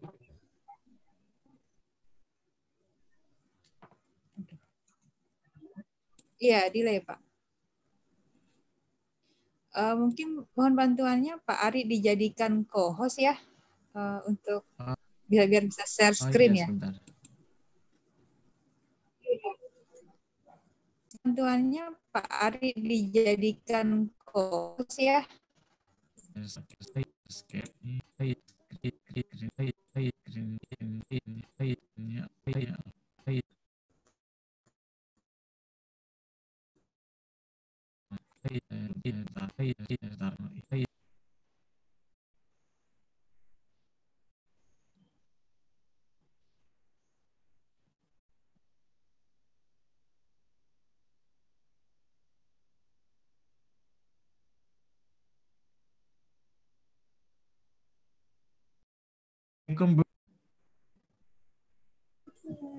Sudah, Pak.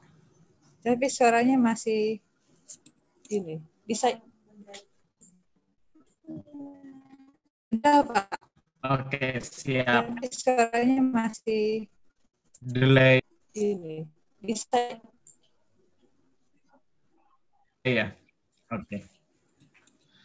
Oke, adik-adik mahasiswa ya, dom 2000 ini untuk ya informasi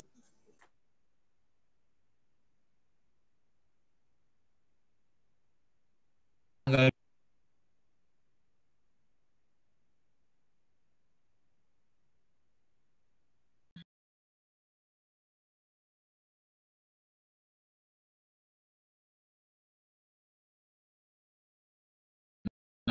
Nah, ya peran Papu sangat sakan surat secara internal oleh UMP.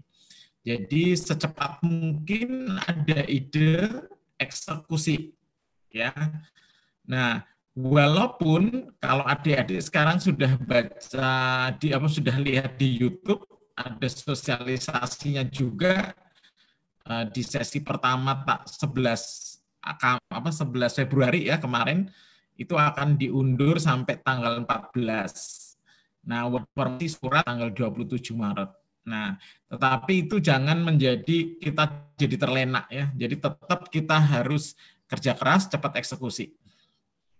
Nah, ketika baca buku panduan, pertama sebenarnya adik-adik wajar lah ya, kadang rasa malas itu muncul ya. Nah, tapi kita bisa cari poin-poin pentingnya. Pertama itu adalah tabel di tabel di tabel satu ya pertama. Kemudian kita langsung ke tabel karakteristiknya tabel satu.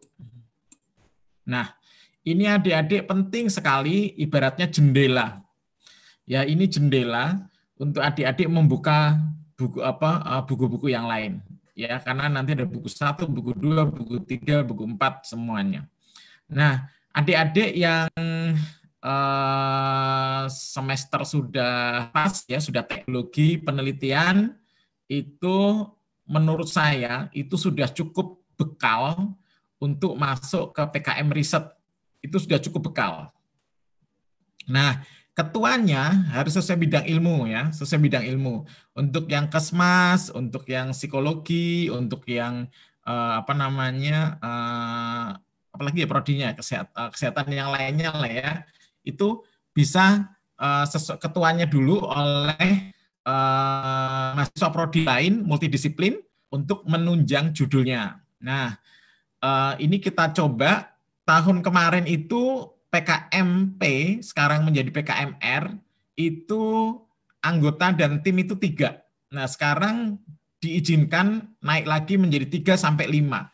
Jadi adik-adik eh, ketuanya, jadi ketuanya satu, anggotanya empat. Hati-hati nanti pas isian online ya, adik-adik hati-hati pas isian online. Kalau ditanya ada pertanyaan di situ berapa anggotanya, itu anggotanya ya. Jadi Eh, ketuanya tidak dihitung ya karena banyak sekali terjadi di isian online eh, satu tim empat ya berapa anggotanya ditulis empat ya anggotanya itu tiga berarti ya jadi hati-hati cara mengisinya kemudian eh, apa namanya pendanaan juga sama range-nya 5 sampai 10 jangan ada yang kurang jangan ada yang lebih luarannya laporan kemajuan, laporan akhir, artikel, nanti saya kasihkan contoh eh, seperti apa penulisannya, seperti itu. PKMK juga sama.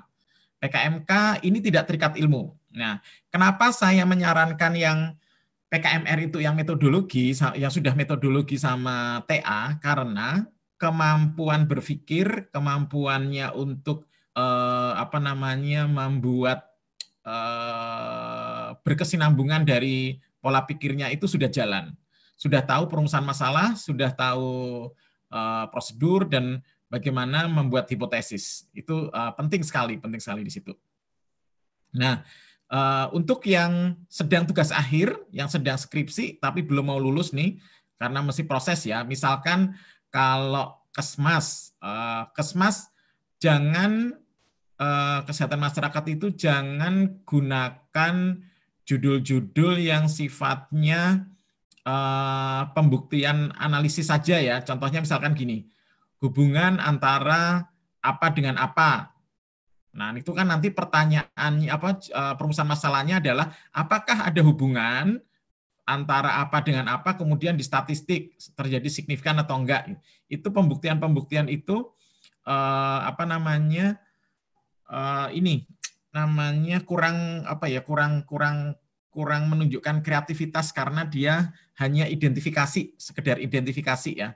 Nah sebaiknya kalau untuk kesmas misalkan eh, ada faktor X, faktor X itu mempengaruhi terhadap sebuah populasi atau komunitas ya. karena ini kan nanti daring campuran antara daring sama offline ya. Nah daring sama offline maka Eh, responden nanti konsepnya dihubungi by telepon atau WA. Ya contohnya misalkan targetnya adalah ada model yang akan diterapkan kepada populasi sampel misalkan itu ya sampel ke misalkan ke kader-kader posyandu gitu kan kader-kader posyandu diatur sampelnya homogenitasnya dicek eh, sampelnya mengikuti standar statistik gitu kan kemudian anda melakukan treatment terhadap Eh, terhadap apa responden, kemudian dicek eh, apa perubahannya sebelum dan sesudah parameternya seperti apa gitu kan itu boleh. Jadi perubahannya seperti apa? Pengen tahu modelnya itu memberikan efek enggak? Tapi judulnya jangan gunakan pengaruh karena apa pun yang diberikan terhadap treatment itu itu pasti berpengaruh, pasti berpengaruh. Jadi gunakanlah targetnya apa setelah melihat latar belakang. Jadi dari latar belakang kan penelitian-penelitian sebelumnya diketahui X, Y, Z gitu kan. Kemudian model ini dibuat untuk apa? Meningkatkan eh, pengetahuan misalkan. Paling sederhana lah meningkatkan pengetahuan. Maka judulnya langsung saja peningkatan pengetahuan apa kader posyandu apa melalui apa seperti itu. Jadi jadi jelas gitu. Targetnya tuh jelas meningkatnya gitu kan. Nah, PKMK tidak terikat bidang ilmu. Nah, PKMK, PKMPM ini sangat menarik sebenarnya untuk teman-teman adik-adik mahasiswa itu yang semester 1, 2, 3, 4. Ini menarik kenapa? Karena Anda tidak dituntut berpikir yang keras, tidak dituntut berpikir yang uh, sudah dengan jurnal, kemudian bisa membuat hipotesis, kemudian memahami prosedur, parameter, statistiknya, macam-macam gimana-mana ya Eh, teknik analisisnya itu ini nggak terlalu dituntut. Nah, Tetapi PKMK-nya kalau bisa yang kreatif ya, jadi berbasis industri kreatif. Uh, contohnya yang apa uh, kalau yang bergabung dengan IT misalkan ke jasa layanan, jasa layanan misalkan uh, jemput laundry ya, jemput laundry itu boleh atau uh, jemput anak gitu boleh, tapi di, dibuat modelnya aplikasinya seperti apa. Itu PKMK ada jasanya, ada profitnya. Jadi produk berbasis iptek ya, bisa produk jasa, bisa produk barang ya.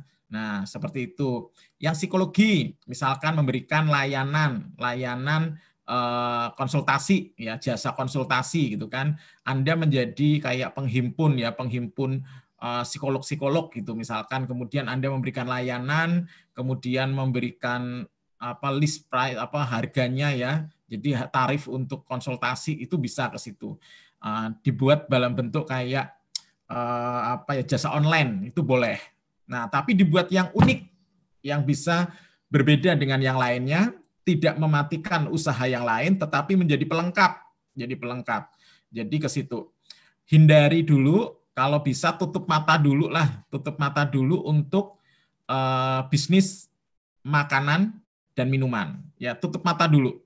Karena itu uh, sudah jenuh, sudah penuh dan tingkat kreativitasnya itu kecil. Tingkat kreativitasnya kecil. Atau misalkan adik-adik yang kesmas uh, membuat uh, kayak uh, apa masker yang berbeda misalkan maskernya dengan konsep adsorpsi misalkan ditambahkan bubuk adsorben-adsorben yang seperti apa. Tetapi tidak boleh ada kata penelitian. Adik-adik boleh mengambil dari jurnal, komposisinya sudah jelas. Komposisinya misalkan arang aktif plus apa itu sudah jelas ada, tapi tidak boleh melakukan penelitian, ya, nggak boleh melakukan penelitian. Tapi sudah jelas ada dan kalau dibuat itu berhasil.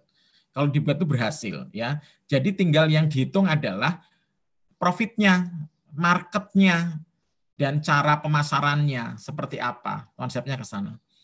Kemudian yang PKMM, PKMMN ini adik-adik kalau saya sarankan sih menurut saya, balik kampung, balik desa, tempat tinggal kita, berbakti kepada desa, silahkan adik-adik yang merasa uh, desanya di mana, merasa perlu ya, karena adik-adik akan berselancar di analisis situasinya itu aman karena tahu persis desanya, kurangnya apa, sehingga akan diungkapkan dengan jelas. Sehingga adik-adik pun bisa mendapatkan data-data dari monograf, data-data dari desanya itu dengan enak. Karena apa? Karena itu desa asalnya, dan ini adalah kesempatan untuk berbakti ke desanya. Nah, eh, kalau yang non-profit, ya bantulah eh, kelompok ibu-ibu rumah tangga, ibu-ibu PKK, Karang Taruna, kelompok lansia, dasawisma, Uh, terus apa uh, ini apa namanya yang non profit misalkan uh, kelompok ronda boleh kelompok pengajian uh, kelompok remaja masjid nah seperti itu. Masukkan itu butuhnya apa? Dari uh, mereka disurvei dulu uh, butuhnya apa terus kita buat uh, apa nama solusinya dari kemampuan, uh, skill dan produk yang kita punya. Jadi misalkan kita remaja masjid itu kan uh, butuh misalkan untuk apa usaha apa usaha apa sih meningkatkan untuk TPA gitu kan. Nah, ada yang adik-adik yang misalkan bagaimana membuat apa namanya model mengaji yang yang mudah seperti itu. Itu boleh ke situ. Nah, kalau PKMPI itu konsepnya adalah mitranya harus profit. Mitranya harus profit. Kita tidak boleh memaksakan ilmu kita ke mitra.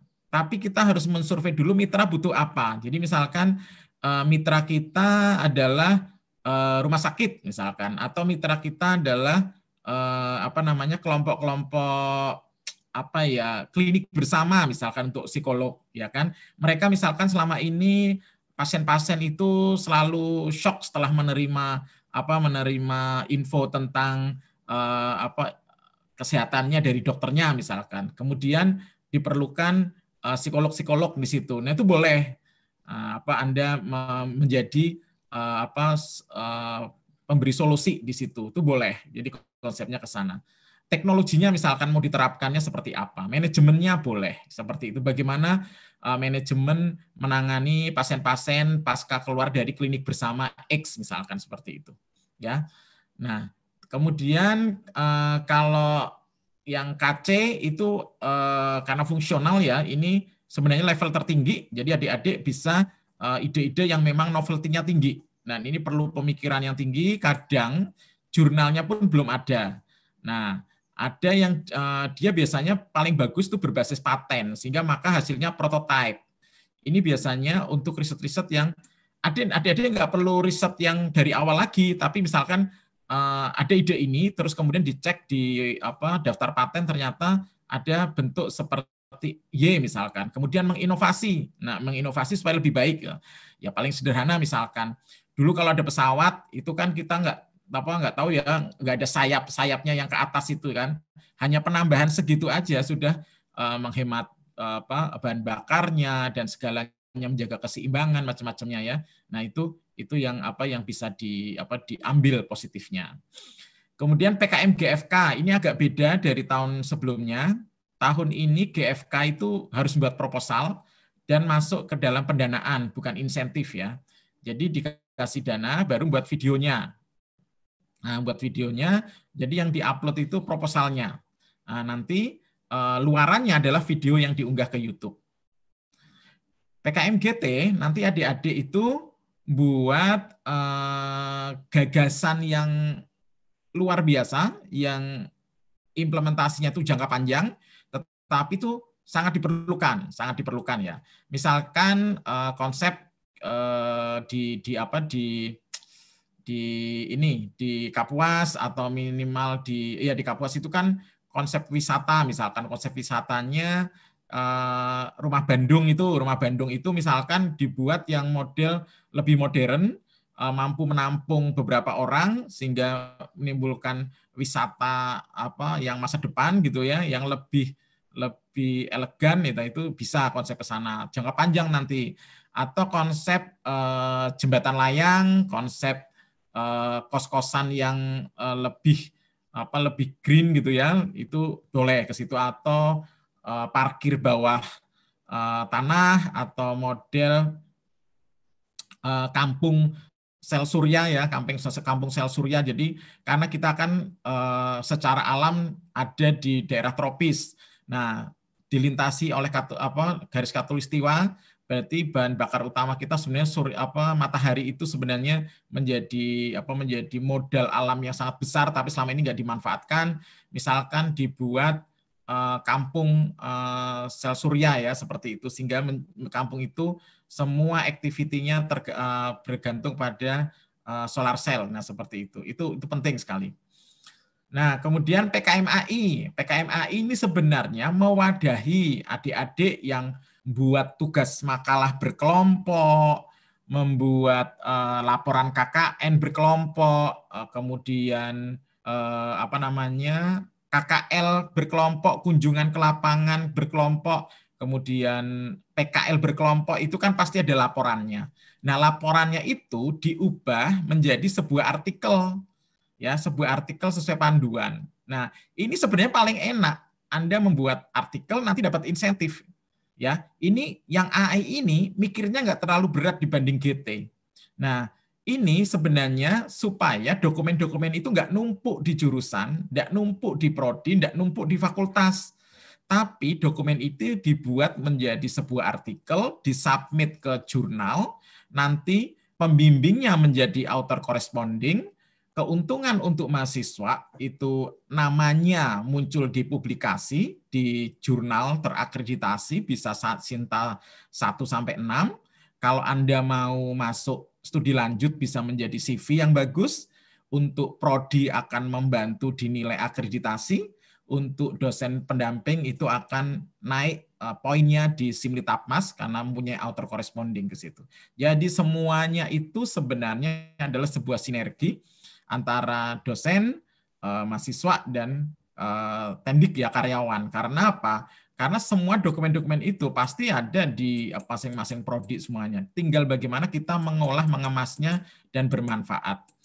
Nah, kemudian ketika kita sudah baca panduan tadi secara garis besar, nah untuk masuk ke gerbang PKM pertama harus tahu dan taat aturan ya. Aturannya harus dibaca, harus tahu dan taat. Kenapa?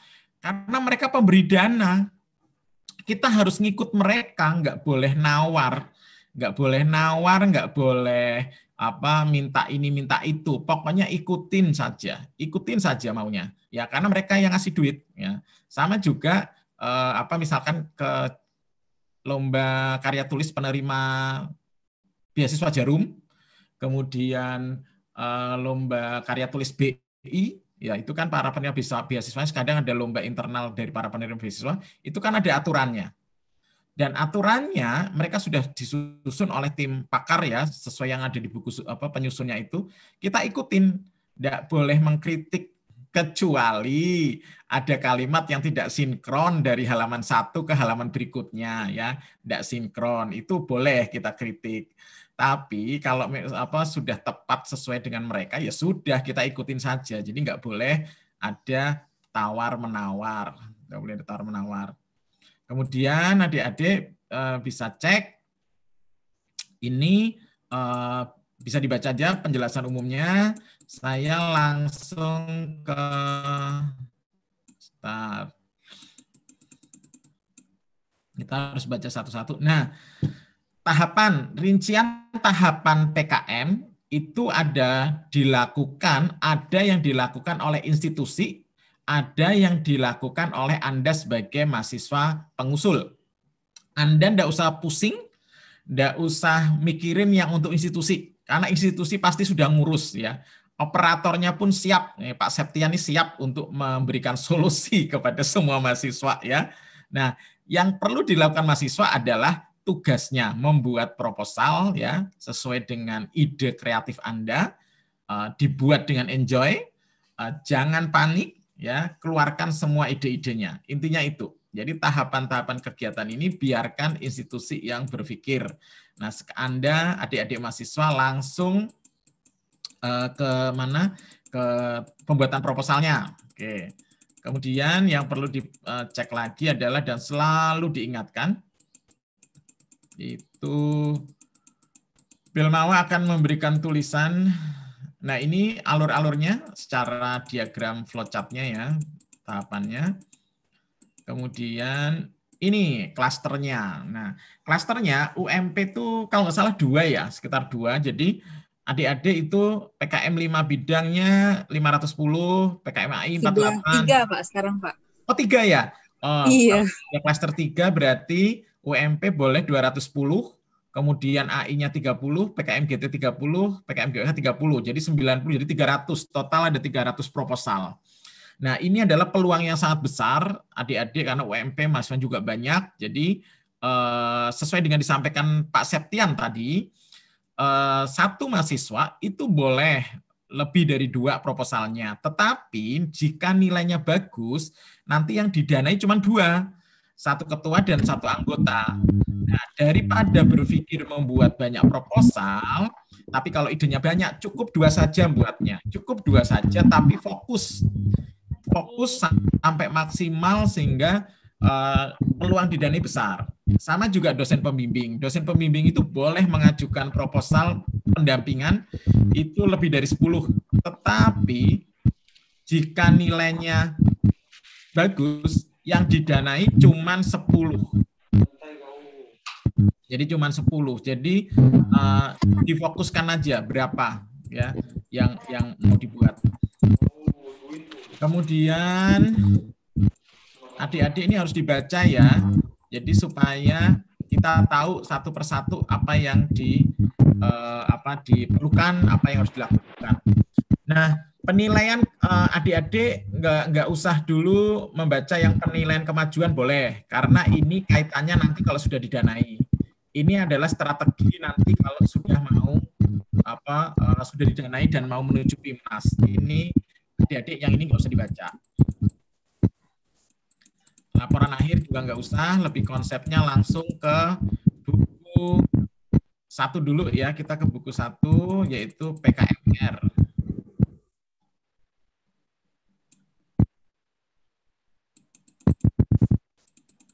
Terus adik-adik di situ uh, pastikan betul bahwa tahun ini kita boleh uh, apa uh, full lab eksperimen di lab boleh atau uh, campuran daring sama luring ya dengan protokol kesehatan. Namun dicek di situ adik-adik dicek baca laginya. Nah, ini nanti setelah didanai aja dipikirkannya. Jadi adik-adik bisa concern ke pembuatan proposal. Oke. Saya mau langsung ke buku 2. Buku 2 PKMR. Bu masih jelas ya, Bu ya? Oke, masih Pak, masih masih. Oke, siap, siap. Ini sebentar.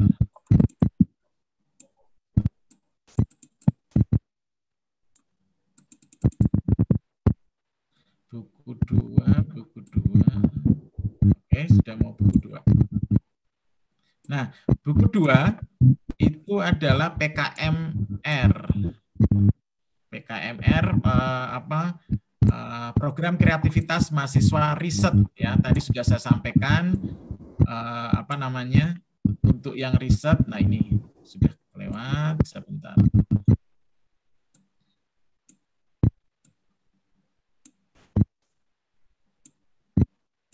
Nah, adik-adik ini baca ya buku 2 itu tentang PKMR, riset ya. Nah, adik-adik langsung masuk ke apa sih itu riset ya? Itu penting banget nih. Uh, nah, nah ini risetnya bisa eksakta, bisa sosial, bisa riset humaniora, bisa gabungan sosial humaniora. Nah, adik-adik ngambillah salah satu mana yang uh, sesuai. Jadi kalau misalkan psikologi itu bisa eksakta, bisa sosial bisa masuk. Kesmas pun eksakta bisa masuk, sosial bisa masuk, humaniora bisa masuk. Jadi peluangnya besar sekali. Peluangnya banyak sekali. Ya, jadi adik-adik segera kejar dosen pembimbing untuk mendapatkan pendampingan. Nah, risetnya bisa empirik, bisa non empirik ya. Jadi nanti sesuaikan dengan karakteristiknya, terus eh, apa harus jelas, harus jelas permasalahannya apa. Permasalahan itu tidak boleh uh, diadakan ya. Memang ada masalahnya. Jadi hati-hati membuat permasalahan jika dia eksplisit ya. Jadi eksplisit itu hati-hati. Jadi contoh misalkan lah ya masalahnya adalah tentang uh, apa psikologi lah. Misalkan psikologi uh, pengaruh pengaruh apa perkembangan informasi sekarang ya terhadap uh, perkembangan anak misalkan. Nah, kemudian disebutkan misalkan permasalahannya satu faktor-faktor uh, faktor-faktor yang menyebabkan uh, apa yang mempengaruhi uh, apa perkembangan anak gitu kan. Itu kan bukan masalah di apa di jurnal di literatur kan bisa dicari gitu kan. Nah, yang jadi masalah tuh apa? Yang di masalah itu fenomena gap antara yang seharusnya terjadi kenyataannya sep seperti apa gitu ya. Misalkan ternyata eh, apa namanya pengaruh sekolah online misalkan eh, itu macam-macam ya bisa bisa apa bisa efeknya ke eh, apa namanya kecanduan gadget macam-macamnya nah seperti itu. Harus dicek parameternya apa. Tapi hal-hal yang sifat pernyataan jangan ditulis di pertanyaan gitu ya memang langsung langsung kepada apa yang mau diselesaikan, bagaimana, mengapa, ya. Jangan gunakan apakah, karena apakah itu jawabannya cuma ya tidak. Kalau sudah iya ya selesai, tidak pun selesai berhenti gitu. Jadi gunakan mengapa dan bagaimana supaya eksplorasi berpikir kemudian uh, pengelanaan berpikir nanti ada perbandingan dengan jurnal itu akan kuat ya sehingga masalah bisa terselesaikan. Kemudian luaran, luaran itu eh, adik-adik tolong tuliskan betul ya. Luaran dan di proposal sebutkan luaran PKMR ini adalah laporan kemajuan boleh dengan sistem paragraf ya atau boleh sistem disebutkan satu-satu boleh. Jadi luaran eh, kegiatan PKMR ini adalah laporan kemajuan, koma, laporan akhir, koma, artikel ilmiah, koma, artikel ilmiah sebutkan uh, di submit ke mana, uh, jurnalnya terakreditasi apa, penerbitnya apa, ya itu sebutkan uh, baik yang nasional maupun internasional ya, yang bereputasi ya, itu nanti pasti akan dibantu oleh pembimbing karena yakin pembimbing bisa bisa apa sudah sampai ke sana. Nah, kemudian uh, apa namanya dicek syarat-syaratnya. Ya, peserta adalah kelompok aktif program pendidikan S1 ya, ada di PDDikti bisa dicek namanya. Kelompok peneliti 3 sampai 5. Jadi nanti di isian online-nya jika 4 berarti satu ketua, tiga anggota. Nama pengusul dan anggota tidak boleh disingkat ya. Terus bidang kajiannya sesuaikan yang saling mendukung multidisiplin mahasiswa pengusul dapat berasal dari berbagai program studi multidisiplin ya. Keanggotaan setiap kelompok disarankan, disarankan dua angkatan, walaupun tidak diwajibkan, tapi disarankan. Nah ini akan menjadi nilai lebih. Kenapa? Untuk faktor regenerasi, ya untuk regenerasi. Dan uh, lima. Pak Ari. Ya Bu. Uh, mau tanya tadi kan anggotanya 3 sampai 5. Itu 3 sampai 5 termasuk ketua apa hanya anggota pak? Termasuk ketua bu, termasuk ketua. Oh, ketua. Ya, oh, iya. baik. Ketua. Berarti kalau tiga satu ketua, dua anggota seperti itu pak ya? Iya, iya bu, iya. Oke, baik. Kalau tahun kemarin PKMP cuma tiga bu. Iya, hmm. Iya, sekarang dinaikkan. Baik siap Bu. Kemudian dana, dana itu sesuaikan dengan yang diberikan direktorat. Nah, tadi ada pertanyaan tuh ke Pak Septian dan Bu Selviana, kalau yang insentif itu boleh masukkan, tidak usah dimasukkan. Ya, jadi nggak usah dimasukkan karena itu bentuknya reward. Betul tadi Bu Selviana bilang itu bentuknya reward. Kalau yang dana 20% itu memang dianggarkan, dialokasikan. Tapi saya yakin enggak. Kenapa? Karena banyak universitas ya termasuk Untan pun tidak menganggarkan dana internal. Karena itu RKAL itu kan sudah disusun dua tahun yang lalu ya. Jadi kalau anggaran berjalan itu susah untuk bisa masuk. Jadi enggak usah dimasukkan dana yang internal. Kemudian sistematika proposal. Jangan uh, digunakan akronim ya. Sudah ikutin sosialisasi di YouTube ya. Jangan gunakan akronim. Sebisa mungkin jangan akro, gunakan akronim. Uh, tapi yang akronim paling banyak yang lulus ya itu kebetulan saja akronim. Karena substansinya bagus ya nah tapi kalau mau jangan digunakan akronim karena membuat akronim nggak gampang. Ya takutnya salah. Dan itu jargon-jargon itu belum tentu benar gitu kan? Nah kemudian proposal bagi dua ya. Isian kelengkapan itu yang entry cover lembar pengesahan ya. Yang isi utama proposal maksimal itu 10 halaman ya 10 halaman. Bagaimana penulisan halamannya? Terus apa bagaimana penulisan daftar isi? Jadi mulai dari daftar isi ya. Jadi jangan dipaksakan uh, apa uh, jangan hati-hati jangan ada muncul lagi cover dan lembar pengesahan. Kemudian diunggah ke Simbil Mawang itu tuh filenya nama nama filenya harus jelas ya. Nama ketua nama PT PKMR-nya juga jelas. Supaya uh, apa namanya uh, nanti filenya itu benar. Jadi administrasinya benar gitu ya. Pemberian nomor halamannya dengan angka Arab ya di sebelah kanan untuk halaman eh, inti inti proposal. Kemudian kalau yang apa uh, daftar isi itu Romawi di kanan bawah. Itu harus harus dicek semuanya. Kemudian eh, apa dosen pendamping dan pimpinan universitas itu adalah memvalidasi saja, makanya tidak ada lembar pengesahan.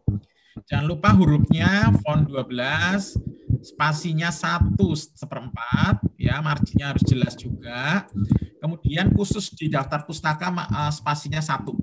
Nah, kemudian di proposal inti itu pastikan betul bahwa sub-sebabnya muncul ya. Sub-sebabnya muncul. Jadi misalkan adik-adik bab satu pendahuluan. Nah, bab satu pendahuluan ini adik-adik harus jelas mau di tengah boleh, di pinggir boleh, ya. Mau di tengah boleh, di pinggir boleh. Kemudian sub sub-sebabnya itu uh, dituliskan sesuai dengan apa yang diminta. Di situ ada latar belakang, permasalahan, uh, tujuan khusus, manfaat, keutamaan, temuannya ditargetkan itu munculkan ya. Kontribusi terhadap ilmu pengetahuan, kemudian luarannya itu dituliskan yang tadi itu ya. Kemudian kalau halamannya itu satu setengah, di tengah-tengahnya itu ternyata apa ternyata apa uh, tidak apa ada sisa ya tuliskan bab duanya di tengah-tengah boleh. Kemudian uh, bab dua tinjauan pustaka itu jangan definisi-definisi lagi ya, tapi sudah langsung ke ini apa namanya ke ke apa ke arah apa ke arah uh, state of the art. Jadi state of the art-nya apa? Jadi uh, konsepnya ke sana. Uh, sebentar. Bu, saya, saya sebentar tak ambil minum dulu ya Bu, agak serak bentar. Iya silakan Bapak, ya. silakan.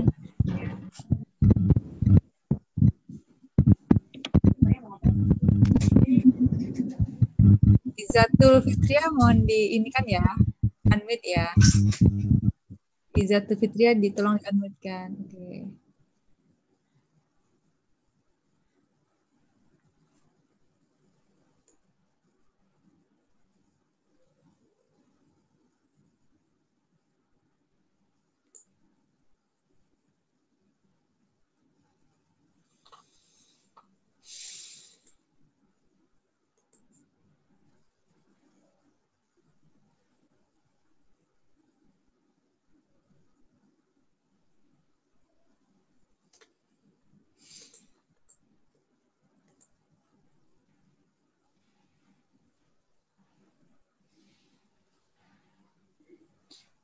Nanti mungkin Pak Septian uh, bisa masukkan Pak Ari di ini ya Pak grup internal UM Pontianak Septian yang lulus PKM internal.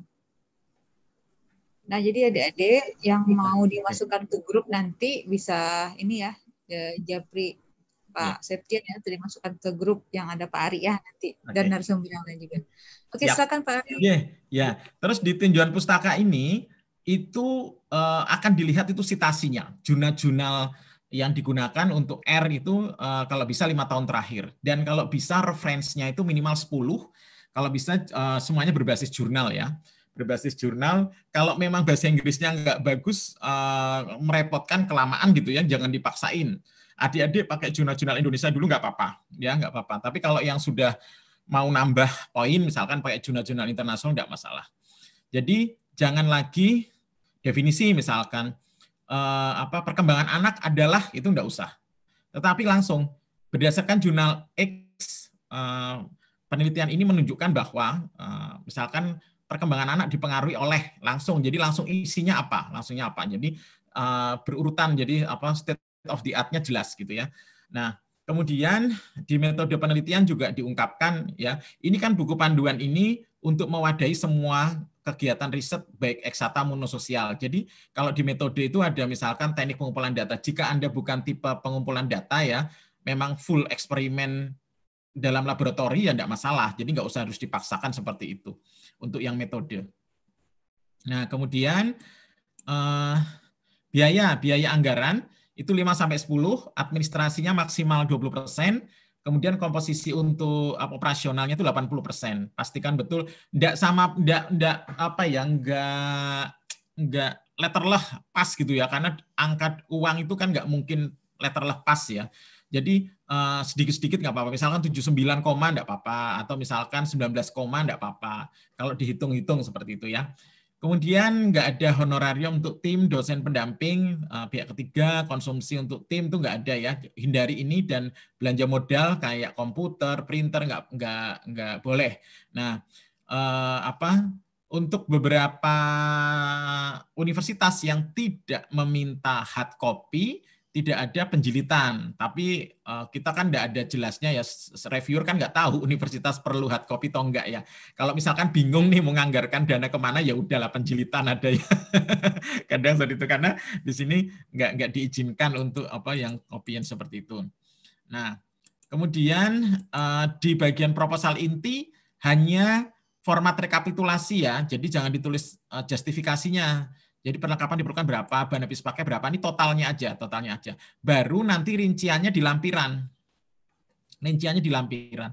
Kemudian jadwal kegiatan buat bar chartnya yang bagus, Ya, ingat ya, tiga bulan sampai empat bulan. Nanti pas isian online juga sebutkan ya, jangan kurang dari tiga bulan dan jangan lebih dari empat bulan. Tetap tiga sampai empat bulan. Pilih mau tiga bulan boleh, empat bulan boleh.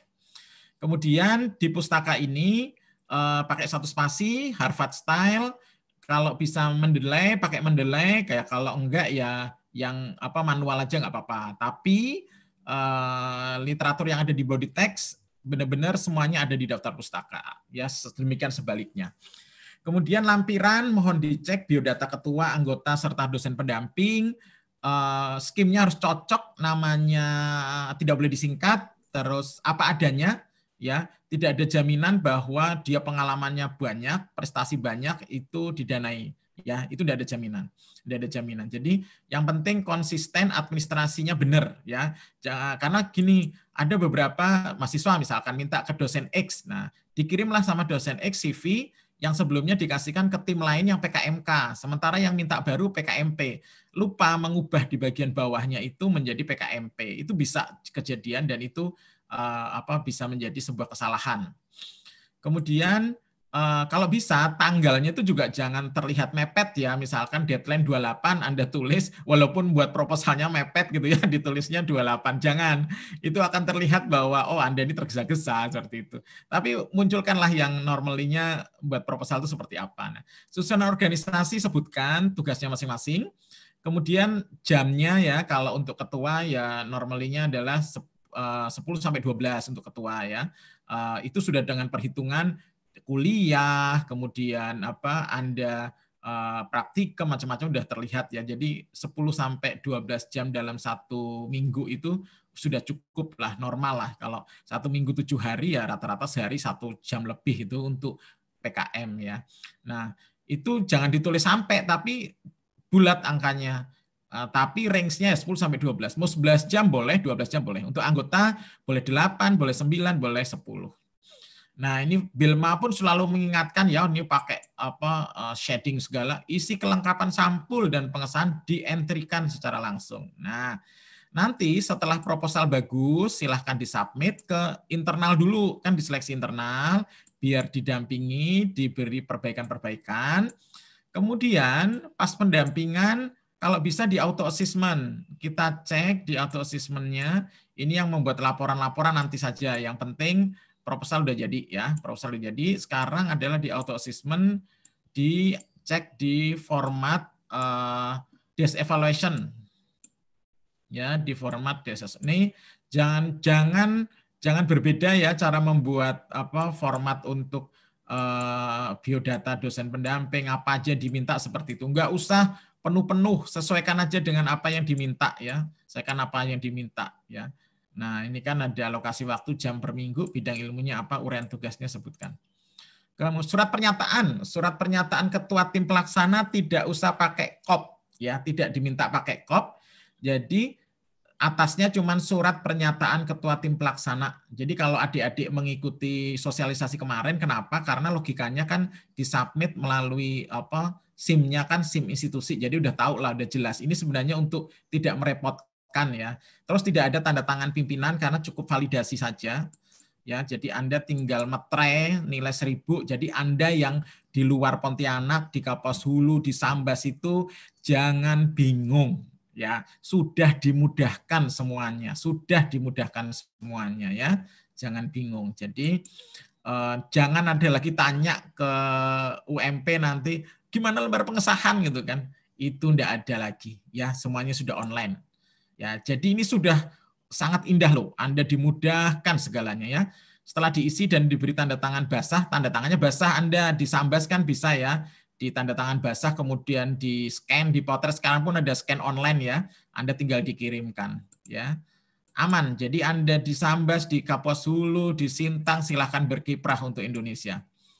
Nah, kemudian ini cara membuat apa referensinya, ikuti aturan ini ya, jangan neko-neko ya walaupun Anda di psikolog, walaupun Anda di kesmas, walaupun Anda di apa prodi lainnya sudah mempunyai cara penulisan reference berdasarkan panduan skripsi, tapi ini adalah panduan yang diminta karena Anda minta dana di sini.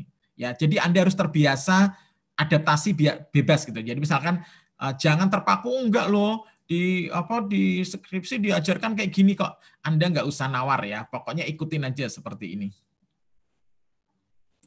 Kemudian uh, ini format penilaian. Nah, ini ya formulir penilaian proposal. Gagasan, originalitas ya, unik dan bermanfaat ya. Asli, benar-benar asli ini nggak nyontek-nyontek ya original. Perumusan masalah fokus dan atraktif ya. Tinjauan pustaka state of the art 10%, bobotnya 10 ya. Kesesuaian dan kemutahiran metode penelitian. Metode penelitian misalkan di bagian metodenya mensitasinya itu jurnal tahun berapa gitu kan. Jangan buku ya, jangan gunakan buku ya. Eh, gunakan karena buku itu uh, reference kender ya, reference kender. Kalau yang primer itu kan jurnal. Gunakan uh, metode yang diambil dari jurnal ya. Potensi program, kontribusi perkembangan ilmu dan teknologi 10%. Sintesis telah literatur, potensi dan prediksi hasil penelitian. Nah, ini penting di bagian apa? Studi uh, uh, apa state of the art. State of the art-nya penting dan uh, dan bagian latar belakang ini interaksi antara latar belakang sehingga perumusan masalah, kemudian background kekuatannya ada di state of the art dan eksekusinya di prosedur. Itu 20% dan hampir semuanya rata ya 10% itu artinya dia eh, apa namanya eh, apa namanya merata. Semua bagian itu memberikan kontribusi. Peluang pelaksanaan secara daring dan protokol kesehatan ya. Artinya apa? Adik-adik ini kan kondisi pandemi ya. Itu akan dicek betul ini kalau dilaksanakan itu beresiko enggak nah, makanya eh, usahakan yang kira-kira tidak beresiko gitu ya yang tidak beresiko. Jadi misalkan harus ngambil sampel perlu apa kerumunan enggak, perlu ini enggak seperti itu ya. Nah, itu itu peluangnya 10%. Jadi uh, terus kalau chemical misalkan, chemical itu si reviewer akan ngecek ini bahannya inden enggak sih, lama enggak sih gitu kan. Repot enggak sih ya, itu bisa dicek situ. Nah, itu uh, 100 ya. Jadi totalnya 100 itu. Jadi kira-kira bisa bobot berapa? Mau aman itu nilainya harus di atas 500 ya. Jadi dengan apa skornya itu 5 ya. Kalau dia sudah skornya 3, 2, aduh itu pasti nggak lolos ya, pasti nggak lolos. Jadi skornya 5, 6, 7 itu ya. Kalau syukur bisa 7 sangat baik ya. Nah, itu kayak pimpinan oke nanti kemudian kita akan coba buku 3 Uh, habis itu saya mau contoh satu proposalnya. Karena adik-adik kalau teoritis saja kadang kan bosen gitu ya. Nah ini PKMK. Nah PKMK adik-adik harus baca betul apa maunya PKMK ya. Nah nih produk barang eh, bisa barang baru ya bisa barang baru bisa barang modifikasi bisa bentuk novel bisa bentuk komik tapi memang unik ya bisa bentuk animasi. Ya, kalau jasa bisa event organizer, bisa jasa konsultan, konsultan, bisa pengolahan data, jadi kayak model orang-orang statistik tuh, eh, atau jasa antar barang, PKMK, profit ya ke situ ya.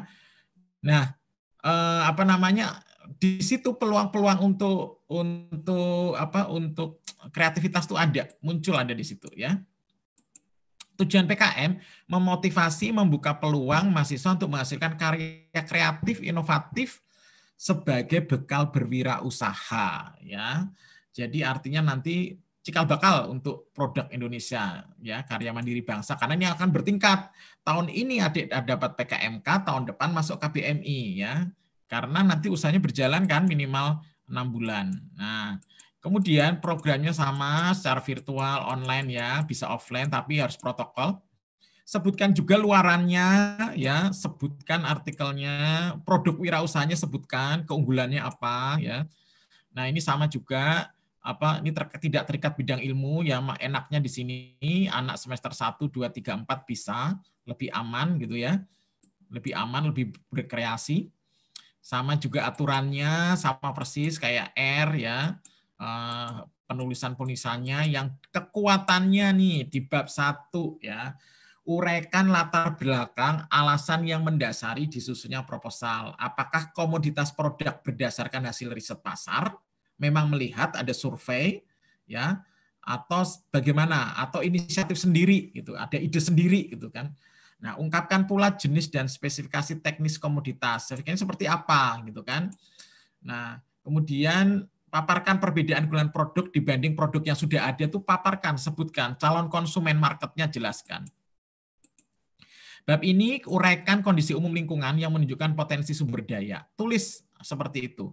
Peluang pasar, nah, analisis ekonominya sebutkan juga ya disajikan cash flow-nya juga minimal satu tahun ke depan itu seperti apa. Ini orang ekonomi lebih paham ya. Terus bab tiga jangan lupa metode pelaksanaan ya, jangan metode penelitian, metode pelaksanaan. Jangan sampai salah ketik ya, salah kata. Aktivitas pelaksanaan harus mematuhi protokol COVID-19. Itu harus diikuti. Aturan biayanya sama, eh, sesuai kayak dengan PKMR tadi, dan nanti yang buku-buku yang ini juga sama Kemudian lampirannya eh, sama juga ya susunan tim ini bagian tugas sama seperti itu. Nah, eh, saya mau kasih contoh ya satu proposal yang R ya yang tahun kemarin tahun kemarin Mas PKM penelitian. Saya mau kasih contoh beberapa. Kadangkala itu laki juga eh, beruntung jadi artinya masih ada salah tapi nilainya mencukupi untuk didanai ya. Saya share dulu. Ini stop share dulu. Mohon izin, mohon izin Bu Selviana, saya tampilkan satu contoh proposal bimbingan saya ya Bu ya. ya yang ya silakan tahun, Bapak. Yang tahun kemarin yang didanai sebentar.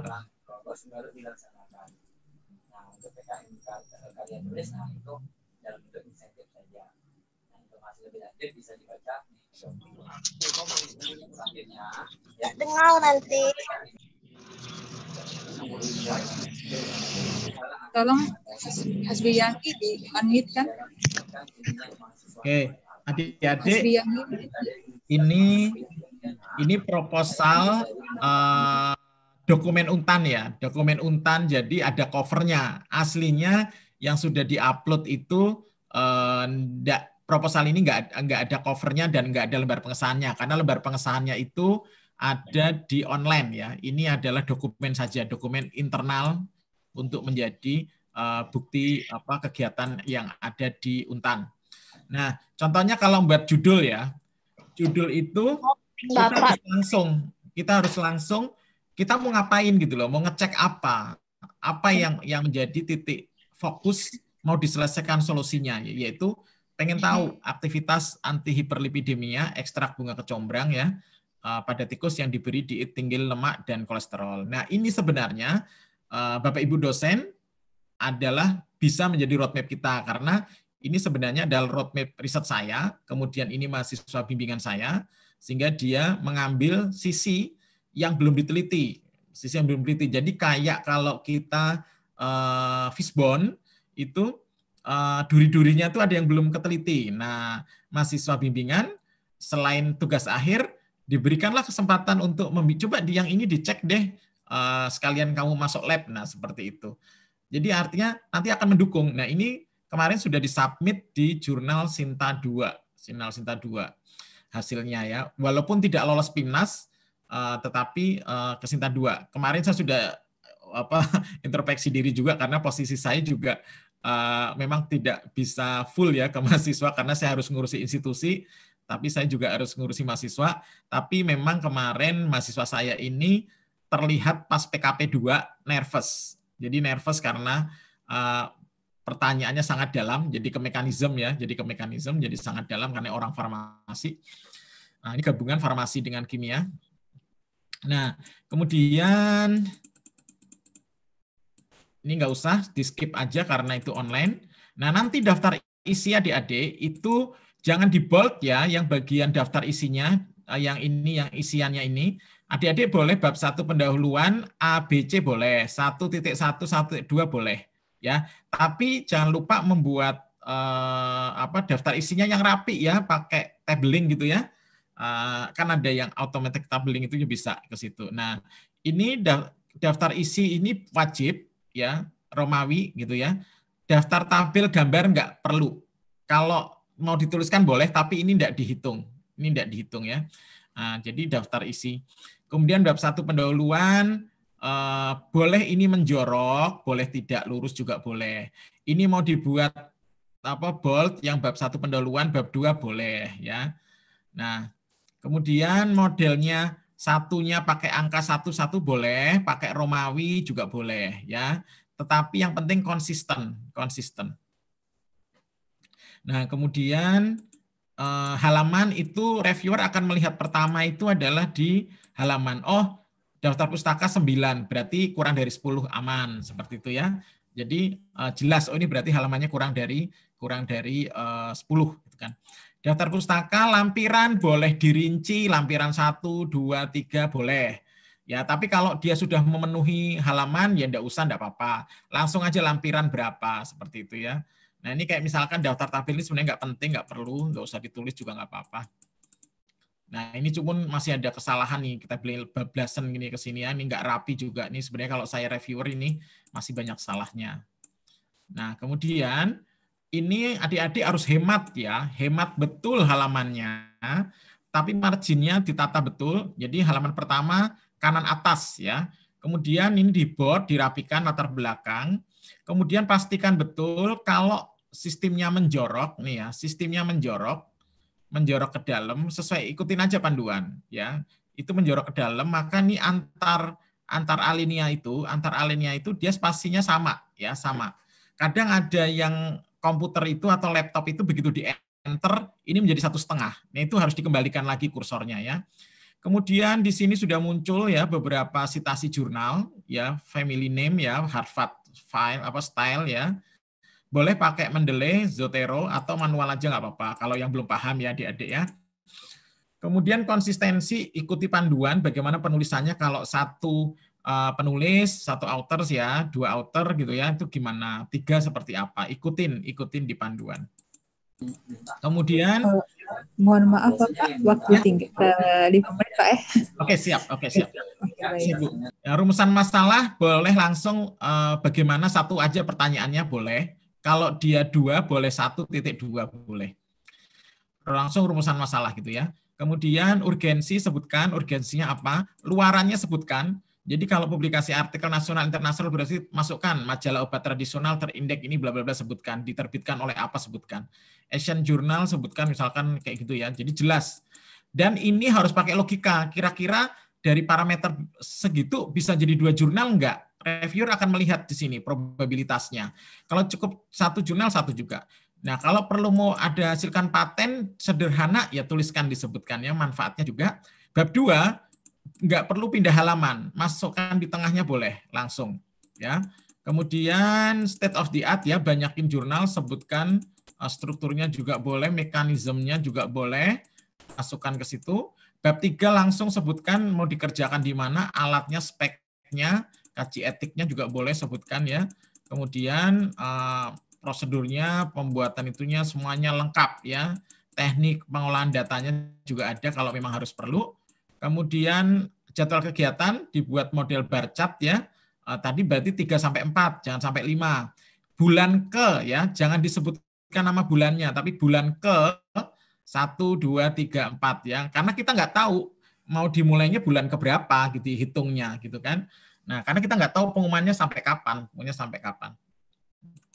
Nah, kemudian daftar pustaka. Nah, ini seperti ini, ikuti aturan ya berbasis jurnal minimal 10 jurnal ya lima tahun terakhir gitu. Nah kemudian eh, lampiran juga sama, ini harus dicek betul. Ini sebenarnya laki ya, karena apa? Ini disingkat nih, tapi di dana ini. ini disingkat nih, dan harusnya, eh, tapi mungkin kesalahan kecil ya, tidak dipandang, tapi karena substansinya bagus gitu ya, seperti itu. Nah ini jangan lupa nih PKM strip jadi kalau sekarang PKM strip R ini harus semuanya sama. Kalau usahakan tanda tangannya warna biru, eh, walaupun eh, sekarang nggak ada aturan ya, tapi biar bisa dibaca tidak terlihat itu adalah eh, palsu ya, seperti itu. Nah, terus ini juga sama, sama, semua sama, sama, semua sama. Oke, itu Ibu nanti lebih banyak tanggung jawab. Terima kasih Bu Selviana. Saya kembalikan ke Ibu moderator Selviana. Oke, terima kasih Pak Ari. Ini ya. kayaknya uh, apa kurang nih waktunya sebenarnya ya Pak ya.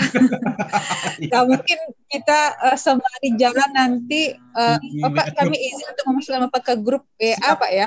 Siap Ibu, siap. Nah, uh, untuk diskusi saya buka dua pertanyaan ya silahkan adik-adik mahasiswa mungkin atau dari dosennya mau bertanya silahkan Oke, sambil menunggu ternyata di, saya melihat ada yang berbeda juga di tahun ini itu di surat pernyataan Pak ya. Iya betul. Pernyataannya itu kan dulu kan pakai warik tiga, pakai ya, dosen Sekarang enggak. Sekarang enggak perlu. Jadi enggak perlu pusing adik-adik yang di kampung sana karena tidak perlu lagi tidak perlu kok ya. Jadi ya. kalau kemarin ada ada yang PKM internal kita masih menggunakan uh, kok masih menggunakan warik tiga segala, segala macam dan tahun ini tidak ya. Nah, ya. jadi itu nanti proposal proposal saya saya share ke Ibu juga ya Bu ya, ke grup nanti ya. Oh iya. Ya Pak, sangat-sangat terima terima kasih nih Bapak nih. Sangat. Sharingnya sangat totalitas, masya Allah. Semoga dibalas sama Allah kebaikannya amin, Bapak. Amin, Bu, ya. Oke, adik-adik silahkan kalau ada yang ingin ditanyakan. Ayo adik-adik semangat, enggak apa-apa. Uh, kita kawal yuk. Ya, ada? Pak, saya mau tanya Pak, kalau untuk PKMPM itu untuk um, uh, apa cap ya, cap mitra, cap ya. mitra itu, kalau mitra yang tidak ada cap tuh tidak apa-apa. Tidak apa-apa Bu, tidak apa-apa.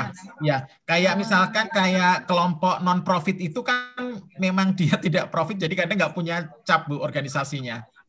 Oh, itu ya. Tapi yang penting uh, perlu cup juga Pak. Enggak, enggak perlu. Enggak, enggak perlu, enggak perlu. penting ada tanda tangannya aja, Pak ya. Iya, ada minta. Oh. Karena nanti kan di situ ada datanya, Bu. Apa pasti apa reviewer paham di situ. Oh, baik. baik. Ya. Oke, adik-adik yakin nih. Ini sayang sekali nih kalau enggak ada ditanyakan nih. Ayo adik-adik, nggak apa-apa, yuk semangat yuk. Saya mau tanya, Bu Selfie. Oh, ini ada Boti. Silakan Boti, ya. Ya Bu. Bismillahirrahmanirrahim. Assalamualaikum warahmatullahi wabarakatuh. Terima kasih Pak Ari. Uh, sharing ilmunya luar biasa. Mudah-mudahan berkah. Amin. Uh, ini Pak, untuk daftar pustaka atau referensi, ya. uh, kan ada batasan untuk halaman. Ya. Nah, kira-kira kelazimannya untuk jumlah daftar pustaka itu loh. Kadang kan kalau misalnya ternyata banyak referensi yang dipakai. Berarti kan otomatis nanti mempengaruhi untuk pembuatan referensi yeah. gitu loh. Takutnya malah jadi yang itu sebenarnya kan ibaratnya kayak apa ya daftar pustaka aja sampai berhalaman-halaman. Tapi padahal kan uh, lebih banyak referensi apakah itu memang lebih baik gitu loh atau gimana sarannya seperti itu. Mungkin itu dulu Pak. Terima kasih. Baik Bu Oti Uh, minimal 10 Bu, Le, uh, lebih banyak lebih baik, tapi tinggal mengungkapkannya dan diatur 10 halamannya cukup. Jadi kalau misalkan uh, nanti ya logikanya kalau misalkan 10 apa lebih banyak reference kan nanti takutnya menyita banyak tempat di anu ya state of the art-nya ya. Nah, tinggal Betul. dibuat dengan kalimat kita sendiri supaya itu menjadi lebih ringkas. Ya kalau aman-amannya sih Bu ya, minimal itu kalau bisa daftar pustaka itu 10 sampai 20 lah atau 25 lah. Oke, siap. Oke. Ya. Pak, kalau misalkan untuk artikel AI itu juga ada batasan nggak sih anu untuk uh, ininya ya? Saya halaman, Bu. Batasannya halaman juga dia. Oh iya iya iya. Berarti nanti ya. menyesuaikan lah yang ya, Iya, ya, betul. Ya. Kayak kemarin Ibu, misalkan kita kan suka ada grup riset yang diskusi gitu kan. Terus ada misalkan kita tugas makalah kelompok tuh, ya kan. Jadi kayak review gitu kan.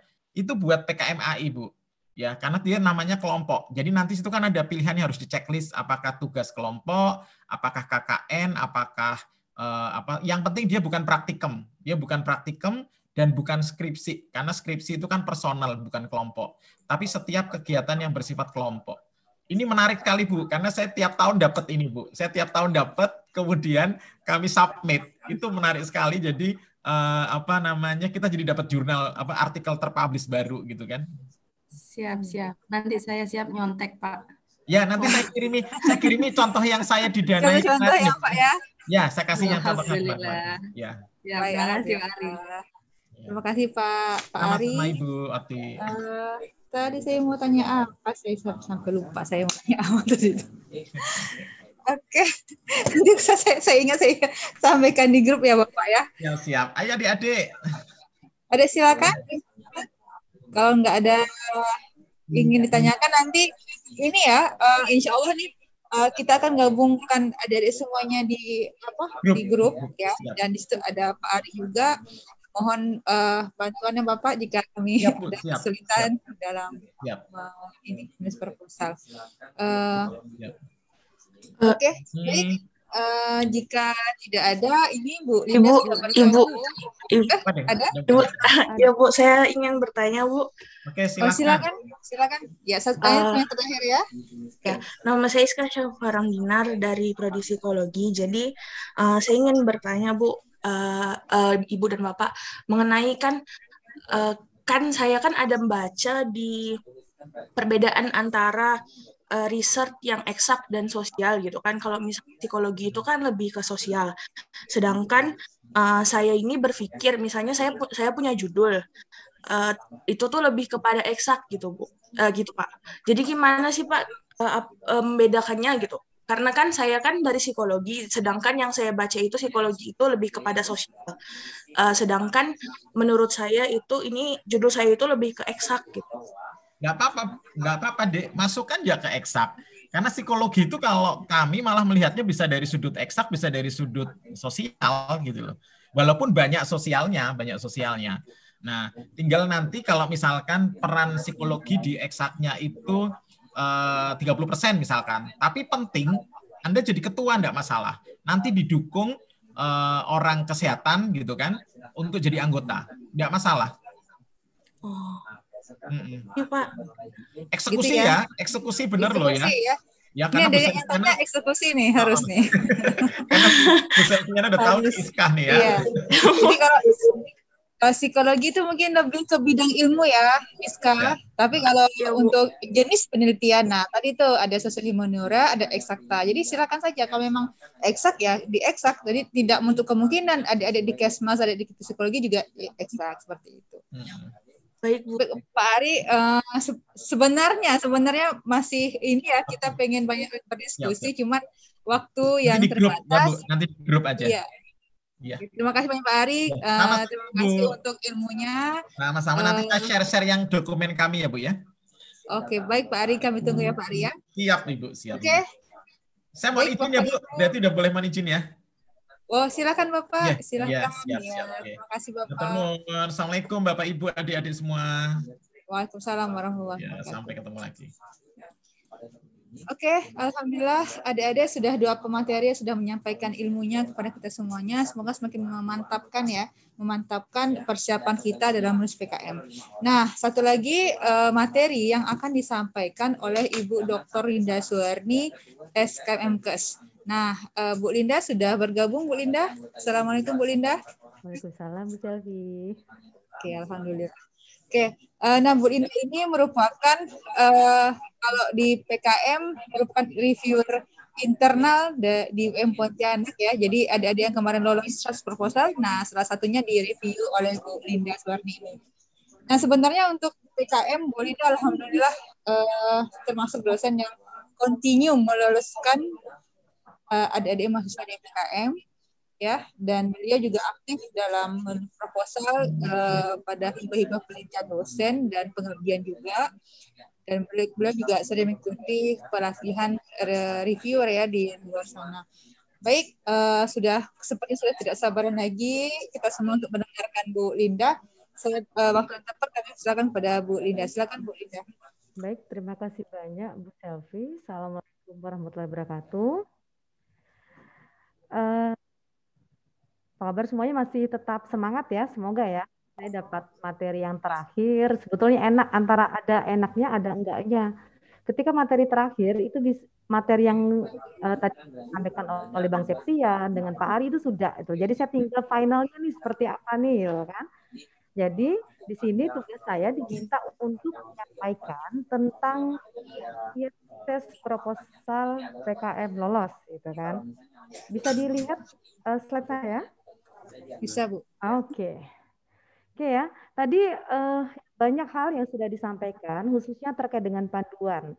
Jadi terima kasih sekali uh, Pak Ari sudah menjelaskan bahwa jangan sampai loss, jangan sampai melenceng dari panduan ada, ya. Sebelumnya, kadang gini ya, saya melihat keprihatinan di uh, dulu aja sebelum pandemi COVID, niat mahasiswa untuk mengajukan proposal itu sangat minim ya apalagi sekarang covid nih gitu kan pada balik kampung semua ya Jadi eh, saya di sini mengajak kepada semua mahasiswa yang ikut baik dari prodi Kesma Pontianak, Kasintang dan Psikologi, ayo kita berlomba-lomba untuk membuat proposal PKM yang ke depannya kita pengen membawa nama Fikes di kancah nasional ya. Sebelumnya kita mulai ini kan ini semangat nih masih masih uh, sudah siang ya semoga belum pada ngantuk gitu kan. Nggak tahu kalau pantunnya nggak cocok ya dicocok-cocokin ya. Malam minggu kumpul di pos satpam. Waktunya kencan tapi jadwal ngeronda. Ayo mahasiswa semangat PKM insya Allah tahun ini Fikes semakin jaya semangat saya ya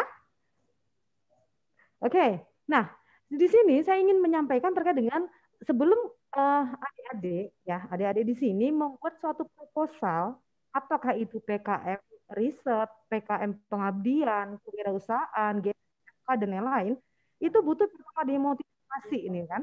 Jadi kadang mahasiswa, eh ngapain sih saya capek-capek itu lo ngikutin bikin proposal capek, belum lagi konsultasi sama dosen. Iya kalau di feedbacknya cepat, kalau lama sama aja gitu kan. Nah, karena motivasi ini kita harus punya motivasi karena uh, yang akan mempengaruhi kesuksesan kita, bagaimana kita mencapai tujuan, sikap dan lain. Saya yakin nih uh, tadi ada dosen, uh, dosen psikologi gitu kan dan teman-teman uh, dosen bisa nanti mem memotivasi. Saya perlu menyampaikan apa sih motivasi penting. Kenapa mahasiswa wajib ya kalau saya bilang wajib mencoba kompetisi di PKM. Nah, ini ya, bahwa di panduan PKM yang terbaru sudah terkait dengan Merdeka Belajar dapat disesuaikan untuk atau diakui sebagai mata kuliah, mata kuliah tertentu itu ya karena kalau ngelihat dari SKS dari uh, apa uh, proses PKM itu dari awal sampai akhir itu bisa memakan waktu sekitar satu tahun ya itu bisa dikreditkan SKS. Nah keuntungannya di Fikes selama SK ini belum dicabut berarti masih berlaku ya. Fikes itu membawahi tiga prodi Kesmas, Kesmas Kasintang, dan Psikologi. Yang sudah menerapkan ini adalah uh, program studi Kesmas. Berdasarkan Peraturan Rektor nomor 63 ya tahun 2018 tentang pedoman skripsi, bahwa di Fikes sudah menerapkan memberi reward atau mengkonversi bagi mahasiswa yang lolos dalam PKM, gitu ya, ketua kelompoknya itu bisa kita konversi menjadi mata kuliah skripsi ya skripsi lumayan itu 4 SKS dan otomatis seminar proposalnya juga juga ngikut nih gitu kan. Nah untuk yang anggotanya bagaimana? Nah kalau tadi ketua ketuanya kita bisa ambil dari laporan ya laporan uh, akhir dari kegiatan PKM nah sedangkan anggotanya itu bisa dengan uh, publikasi ya bisa ditambah dengan publikasi baik itu nasional maupun internasional ya dengan syarat dan ketentuan berlaku kapan artikel publikasi itu bisa diakui nanti silakan dibaca kembali secara teliti di pedoman skripsi SKDK nomor 739 ya. Jadi saya sangat uh, menganjurkan dan berharap semua mahasiswa yang berada Fakultas Ilmu Kesehatan dapat mengajukan PKM ya. Ini adalah kompetensi bergengsi ya Kalian bayangkan nggak ya kalau seandainya kalian lolos itu kan, lolos PKM, nanti Bu Selfie dan Bang Sekian tuh akan bikin spanduk gitu kan, memajang foto kalian, oh lolos PKM nih dari Fikes namanya siapa, fotonya itu kan itu ada suatu kebanggaan tersendiri. Kemudian keuntungan ke kedua, kalian akan mendapatkan konversi ya, konversi dari uh, lolosnya proposal yang didanai di uh, Simbel Mawar. Ya, jadi ini uh, ayo kita sekarang semangat nih uh, untuk membuat proposal PKM. Ingat tadi ide-idenya itu kadang gini ya, uh, pengalaman. Saya punya bimbingan nih ya, dia punya ide bagus tapi ngomong-ngomong doang gitu loh. Jadi hanya ngomong aja sih, tapi tidak dieksekusi ya. Jadi ketika tadi misalkan ada adik dari psikologi nih, saya punya ide gini tapi lebih kepada eksak, udah pokoknya tulis aja dulu itu kan. Tulis dulu diskusi dan konsultasikan dengan dosen atau yang ahli di bidangnya. Semangat ya, ingat ini masih berlaku bahwa yang lolos PKM di tingkat nasional, apalagi PIMNAS, wah kalian akan menjadi artis kampus, yakin deh. Apalagi lolos PIMNAS kayak Bang Septian itu kan, dan beberapa uh, dari prodi lain itu kan yang lolos PIMNAS itu akan menjadi artis kampus pada saat itu ya karena ini adalah ajang bergengsi yang bisa menaikkan nilai akreditasi program studi dan universitas. Oke, tadi ini uh, sudah dijelaskan poin-poin kritis PKM sampai PIMNAS ya. Jadi masalah utamanya itu biasanya apa sih? Pertama adalah yang jelas kita harus menyiapkan proposal. Nah, biasanya sebagian besar mahasiswa bingung. Saya mau, mau buat apa sih? Idenya dari mana sih gitu loh kan? Nah, kalau pembentukan tim saya yakin itu relatif lebih mudah. Jadi yang pertama ini bagaimana kita menemukan ide. Ya. Makanya tadi Pak Ari katakan untuk yang penelitian itu kalau bisa sudah menempuh mata kuliah metodologi penelitian karena sinkron ya. Tadi dibilang saya punya judul nih, ingat ketika kita ingin mengajukan suatu proposal riset itu bukan terkait dengan judul. Tadi Pak Ari juga sampaikan judul itu adalah bagaimana pengemasannya, eye catchingnya gimana sehingga itu dapat menarik bagi tim reviewer ya.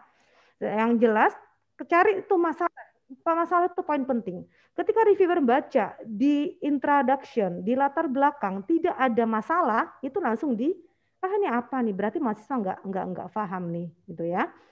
Nah, kemudian setelah kita sudah tuang tadi itu yang Pak Ari sampaikan, saya sekilas aja nih ya, bahwa tolong tulis sesuai dengan panduan. Pastikan setiap poin yang ada di panduan itu terisi. Saya uh, bisa sharing terkait dengan mahasiswa bimbingan saya. Saya selalu tuh tulis di kan kita bisa view apa ya namanya kalau review notes ya kasih note di kanan copy paste misalkan bab satu pendahuluan harus ada. Uraikan latar belakang yang menjadi dasar penelitian ini. Tuliskan tujuan. Dikasih notes itu. Nah itu nanti di proposal introduction ya. Jangan lupa tulis saja poin-poinnya dulu. Latar belakang. Tujuan. Jadi itu memastikan bahwa kita sudah menuliskan semua yang diminta di dalam panduan. Ya, sulit nggak sih? Mungkin yang baru belajar akan merasakan sedikit kesulitan, tetapi jangan langsung menyerah, gitu ya, karena ini adalah butuh proses kita latihan dan latihan, ya. Jangan ragu ketika nanti ditanya urgensi atau keutamaan penelitian, jangan ragu-ragu menyatakan bahwa penelitian penelitian atau program yang kita usulkan ini adalah urgen, sangat urgen. Dan kontribusinya seperti apa? Tulis aja, pokoknya tulis saja yang bisa meyakinkan uh, reviewer ya. Kemudian pelaksana kegiatan dan lain-lainnya. Nah, trik dan kiat meningkatkan peluang keberhasilan PKM. Jadi stylenya ini selama ini biasanya mahasiswa itu datang pada saat deadline, udah deadline dari PKMA ataupun yang di kewirausahaan kan wajib ya hanya sekedar jadi kalau proposal yang kita buat hanya sekedar menggugurkan kewajiban, biasanya kualitasnya itu belum optimal. Ya, jadi ini yang betul-betul dipersiapkan dengan baik. Nah, untuk mahasiswa biasanya ya tadi yang Pak, Pak Ari uh, sampaikan ya, uh,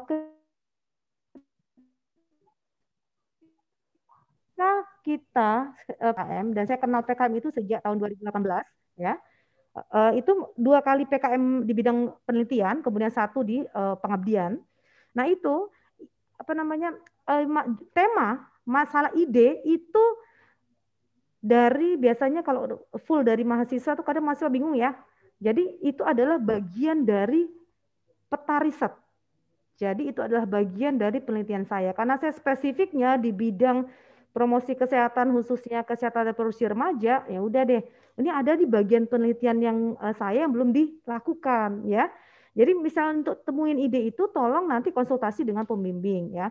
Kemudian bisa ditanyakan Bapak, Ibu kira kira-kira apa nih yang ini atau kita sudah melihat ada masalah, masalah yang misalkan gini.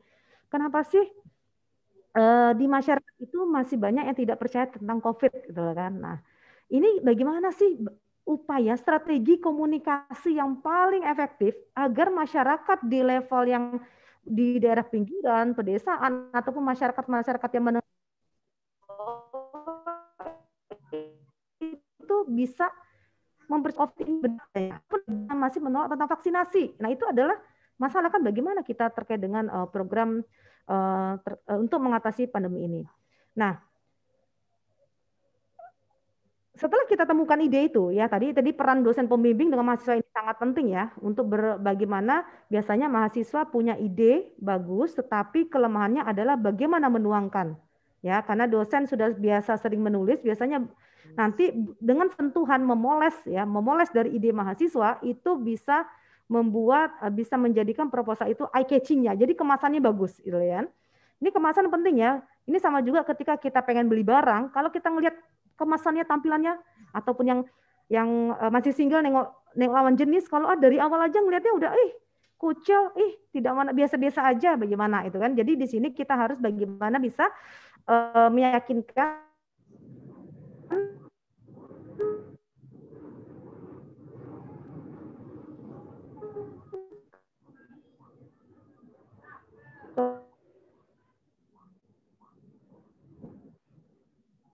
pada pembaca bahwa apa yang kita lakukan. Nah, biasanya uh, saya meminta mahasiswa untuk kalau tertarik pada penelitian, print panduan PKMR itu kan riset ya. Kemudian jangan lupa lakukan self review terhadap format dan tema yang diusulkan. Jadi nanti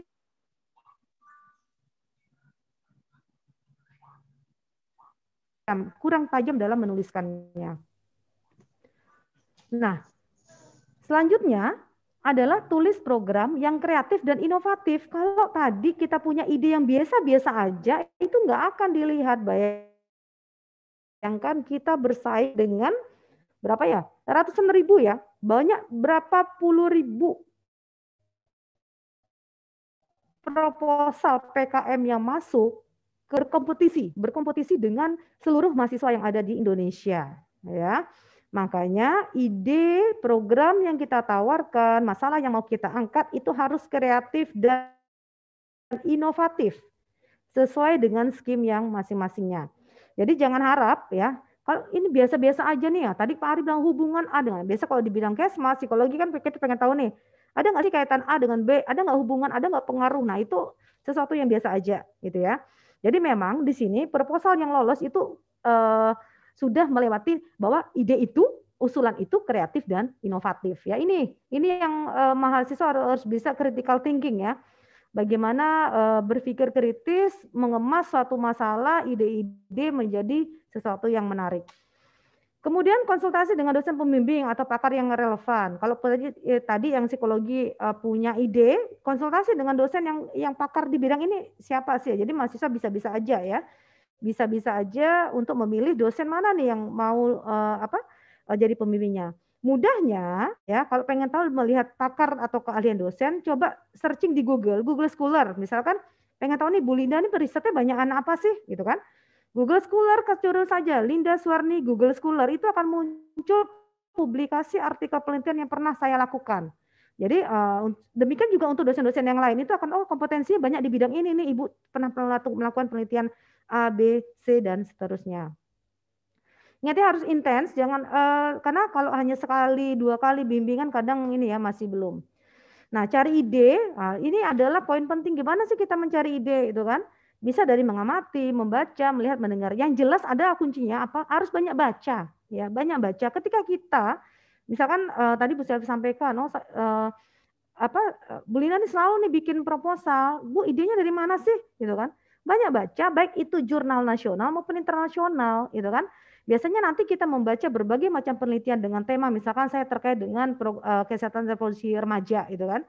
Oh ini ada gap nih penelitian A dengan penelitian B tapi ini belum belum ada nih yang ke ke aspek ininya itu kan. Itu yang jadi penelitian kita itulah yang akan melengkapi dari uh, gap penelitian yang hasil penelitian yang sudah ada ya. Nah jangan lupa ini kayaknya simpel ya. Di awal itu kita bisa mulai ya di awal kaitkan dengan SDGs, Sustainable Development Goals. Di sini semua bidang studi itu pasti terkait dengan dari indikator SDGs ini. Ya, kita bisa meyakinkan reviewer bahwa kita ini memang uh, memang mengkritisi terkait dengan masalah yang ada. Misalnya contoh sederhana terkait misalkan ataupun terkait dengan pandemi COVID ya. Kecemasan, banyak yang stres, banyak kejadian macam-macam itu kan. Kita bisa uh, mengkaitkan bahwa adanya pandemi COVID ini adalah salah satu yang akan menghambat ketercapaian dari SDGs ya.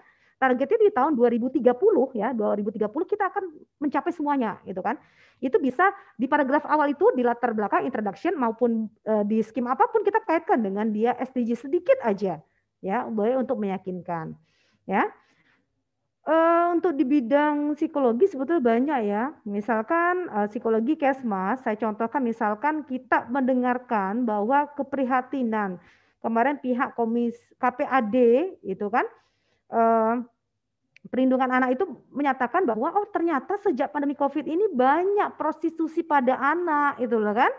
Ini sebetulnya bagaimana sih itu kan? Nah, ini adalah salah satu hal yang bisa menghambat terkait dengan pencapaian SDGs 2030. Nah, itu simpel itu itu butuh solusi. Gimana nih kan? Sekarang pembelajaran daring, orang tua sibuk kerja cari nafkah. Anak-anak di di rumah gitu kan. Nah, sekarang banyak yang misalkan mereka untuk mencukupi kebutuhannya terlibat dalam prostitusi online gitu ya itu salah satu tema yang saya yakin itu uh, sakin lebih dari 50% itu akan menarik ya menarik reviewer ketika kita mengangkat masalah yang berbau itu pastinya reviewer itu kan dia punya keluarga mikir oh ini ini pentingnya ada solusinya tapi harus ingat bahwa penelitian hanya tidak sekedar membuktikan ada tidak adanya hubungan pengaruh atau perbedaan tapi ada solusi Nah, yakinkan bahwa apa yang kita lakukan ini merupakan solusi untuk mengatasi permasalahan yang ada. Ya. Yang perlu diingat bahwa eh, ingat eh, judul ya, judul PKM tadi sudah disampaikan eh, Pak Ari, kemudian syarat administrasi jangan sampai ada hal yang miss sedikit pun. Kemudian permasalahan yang ada harus aktual ya. Uh, misalkan gini, uh, kemudian novelty ya, novelty terkait dengan kebaruan, kebaruan penelitian kita dan kesesuaian ide dengan jenis PKM saya salah satu reviewer di internal itu yang saya koreksi banyak sebetulnya masalah ini apa sih gitu loh kan. Saya bingung gitu kan bacanya. Saya sebagai reviewer pembaca ini bingung. Ini masalahnya sebetulnya apa sih gitu. Banyak sekali uh, mungkin idenya bagus cuman bagaimana mengemasnya. Makanya kita butuh namanya apa konsultasi dengan uh, dosen yang ahli di bidangnya ya. Kemudian tunjukkan bahwa penelitian ini tidak hanya penelitian atau kegiatan ini tidak hanya sekedar mengulang dari kegiatan yang sebelumnya ya hanya sekedar eh, penelitian ulang atau pengabdian ulang yang sudah dilakukan tunjukkan ada sesuatu yang baru dari kegiatan yang kita usulkan. Ya. Nah kita harus bisa ini ya membuat suatu proposal yang unggul ya. Kalau kita rata-rata ya proposal nilai kita rata-rata dari kontennya rata-rata substansinya rata-rata itu tidak akan di, mencapai nilai yang unggul. Karena proposal yang unggul inilah yang akan dibiayai oleh dikti gitu ya misalkan yang khususnya untuk riset ya yang terkait tentang riset itu terkait dengan novelty dan invensi temuannya apa sih gitu kan kemudian kebaruannya apa sih tidak hanya kalau seandainya mahasiswa, Bu, ini beda tempat, beda waktu. Itu tidak ya, tidak hanya sekedar itu. Jadi pesan saya terkait dengan khususnya saya banyak membahas tentang uh, di sini penelitian walaupun pengabdian nanti kita lihat beberapa judul yang uh, apa namanya yang menarik untuk kita angkat bahwa kita harus mampu melihat bahwa dan meyakinkan reviewer bahwa penelitian kita ini ada novelty dan temuannya. Dan temuan ini adalah salah satu solusi dalam mengatasi masalah yang ada. Itu. Kemudian yang kedua, tadi terkait dengan tinjauan pustaka, pesan saya kepada mahasiswa yang membuat tinjauan pustaka di proposal PKMR, tolong jangan copy paste, enggak cukup itu. 10 halaman dari di latar belakang sampai ke dalam daftar pustaka, ketika kita copy paste, ya Pak Ari menyampaikan tadi kita harus bisa menguraikan dengan bahasa kita sendiri gitu. Ya. Jadi eh, di dalam tinjauan pustaka untuk semuanya kita fokus pada state of the art. Jadi penelitian-penelitian yang ada itu temuannya seperti apa, kemudian kita bisa melihat gap dari hasil temuan yang ada dan gap itulah yang akan kita lakukan untuk menyempurnakan dari ya, ingat bahwa di dalam tinjauan pustaka itu tidak berisi lagi definisi, tidak lagi terkait dengan teori. Biar kadang kemarin saya banyak mereview proposal yang di tinjauan pustaka banyak teori itu loh. Di metodologi eh, penelitian juga banyak menyebutkan definisi teori bahwa penelitian ini merupakan penelitian misalkan dengan pendekatan konsesional yaitu bla bla bla bla bla. Itu tidak perlu disebutkan lagi itu kan. Karena keterbatasan dengan 10 halaman ini membutuhkan keahlian si apa pembuat usulan itu bagaimana meramu secara ringkas, padat dan jelas ya saya tekankan di tinjauan pustaka fokus kepada hasil temuan riset. Kita bisa cari di nasional maupun internasional ya 10 eh, tahun terakhir. Tadi saya sepakat ya dengan Pak Ari bahwa kalau saya eh, mintanya kepada mahasiswa bimbingan untuk penelitian riset itu minimal 20 daftar pustaka. Karena eh, pernah diskusi dengan beberapa reviewer bahwa kalau penelitian, bayangkan nggak penelitian dengan referensi yang kurang dari 20, 20 aja termasuk sedikit sebetulnya ya. 20 kurang dari 20 gimana mampu melihat mente, apa menilik dari mencermati, mengkritisi dari temuan-temuan yang ada. Ya, itu belum lagi dipotong dari misalkan dari eh, data-data uh, atau data sekunder yang uh, yang ada. Ya, itu ya. Ingat di bab uh, tinjauan pustaka karena kebanyakan masih sering salah dalam menuliskan banyak berupa definisi, istilah, dan teori-teori. Nah ini contohnya ya. Kita bisa lihat literasi digital dalam mengenali dan mengatai cyberbully di kalangan penggemar K-pop. Kayaknya simpel ya. Ini kan banyak nih penggemar K-pop ya, anak-anak ABG, bahkan eh, apa ya dari semua kalangan suka dengan K-pop. Nah, ada adanya cyberbully cyberbullying ini itu kan literasi digital dalam mengenasi dan mengatasi. Nah, ini adalah salah satu yang contoh uh, lulus PIMNAS. Kemudian ini ah di PKM PSH ya. Karena uh, kalau yang pengalaman dari saya memang tadi benar bisa eksak tapi coba dibaca lagi eksaknya seperti apa sih?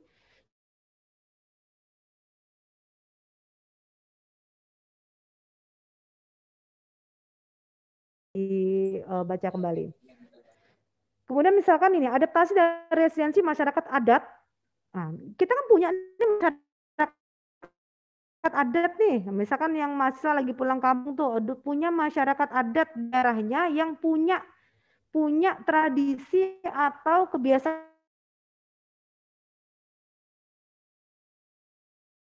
manajemen stres. Nah, ini bisa kesmas, bisa psikologi. Gimana nih?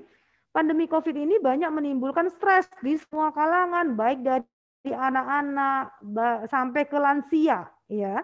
Nah, gimana? Pikirkan solusi apa nih yang bisa kita tawarkan, yang akan kita buktikan, itu kan, bahwa ini adalah merupakan salah satu solusi dalam manajemen stres, ya. Kalau pertanyaan Bu, apakah itu harus sesuatu metodologi yang baru? Sebetulnya metode yang baru sebetulnya tidak. Kita bisa memodifikasi dari yang sudah ada, ya.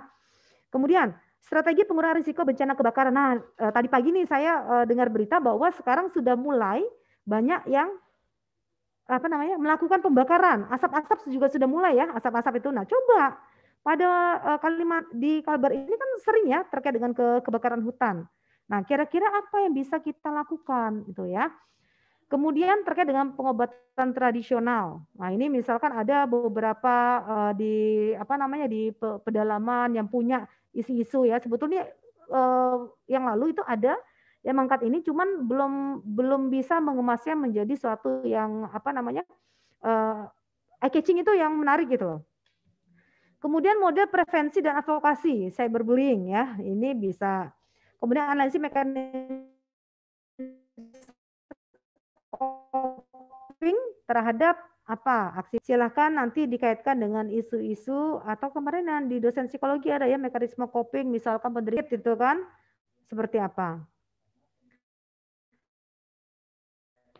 Kemudian ah yang PIMNAS yang lalu saya membaca dari judul-judul yang ada itu banyak sekali eh, mengangkat ke anak berkebutuhan khusus. Ya ini adalah eh, masih banyak ya ide-ide yang lain terkait dengan uh, anak berkebutuhan khusus ataupun disabilitas. Nah, itu biasa ide uh, tema-tema yang yang menarik ketika itu ada menjadi, menjadi suatu permasalahan, itu kan? Dan kita mencoba menawarkan solusinya apa, ya. Kemudian, nah ini kan kalau kita dari judulnya ada terkait dengan uh, model intervensinya seperti apa.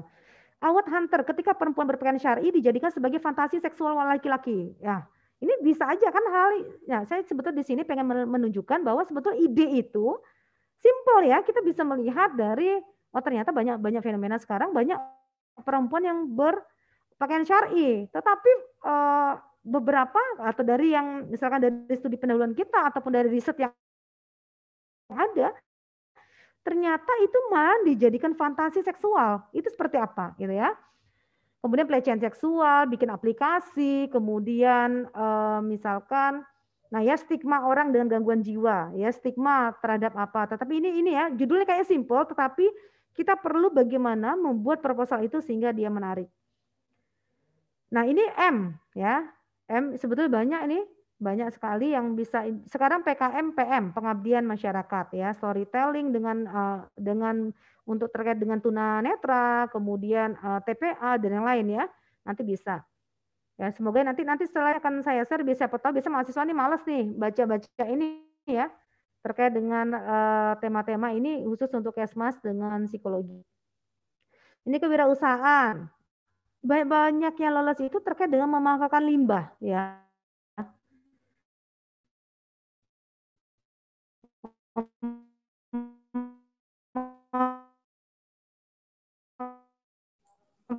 Maaf, suara Bu Linda hilang, Bu Linda. Limbah ataupun dia makanan minum. Bu Selvi? Bu? Sudah dengar? Oke, sip. Sudah, Bu. Oke. Sudah, sudah. ya, ataupun masker ya. Sekarang iya. Kemarin ada bimbingan saya nggak tahu lanjut atau enggak itu kan. Semoga dieksekusi. Masker.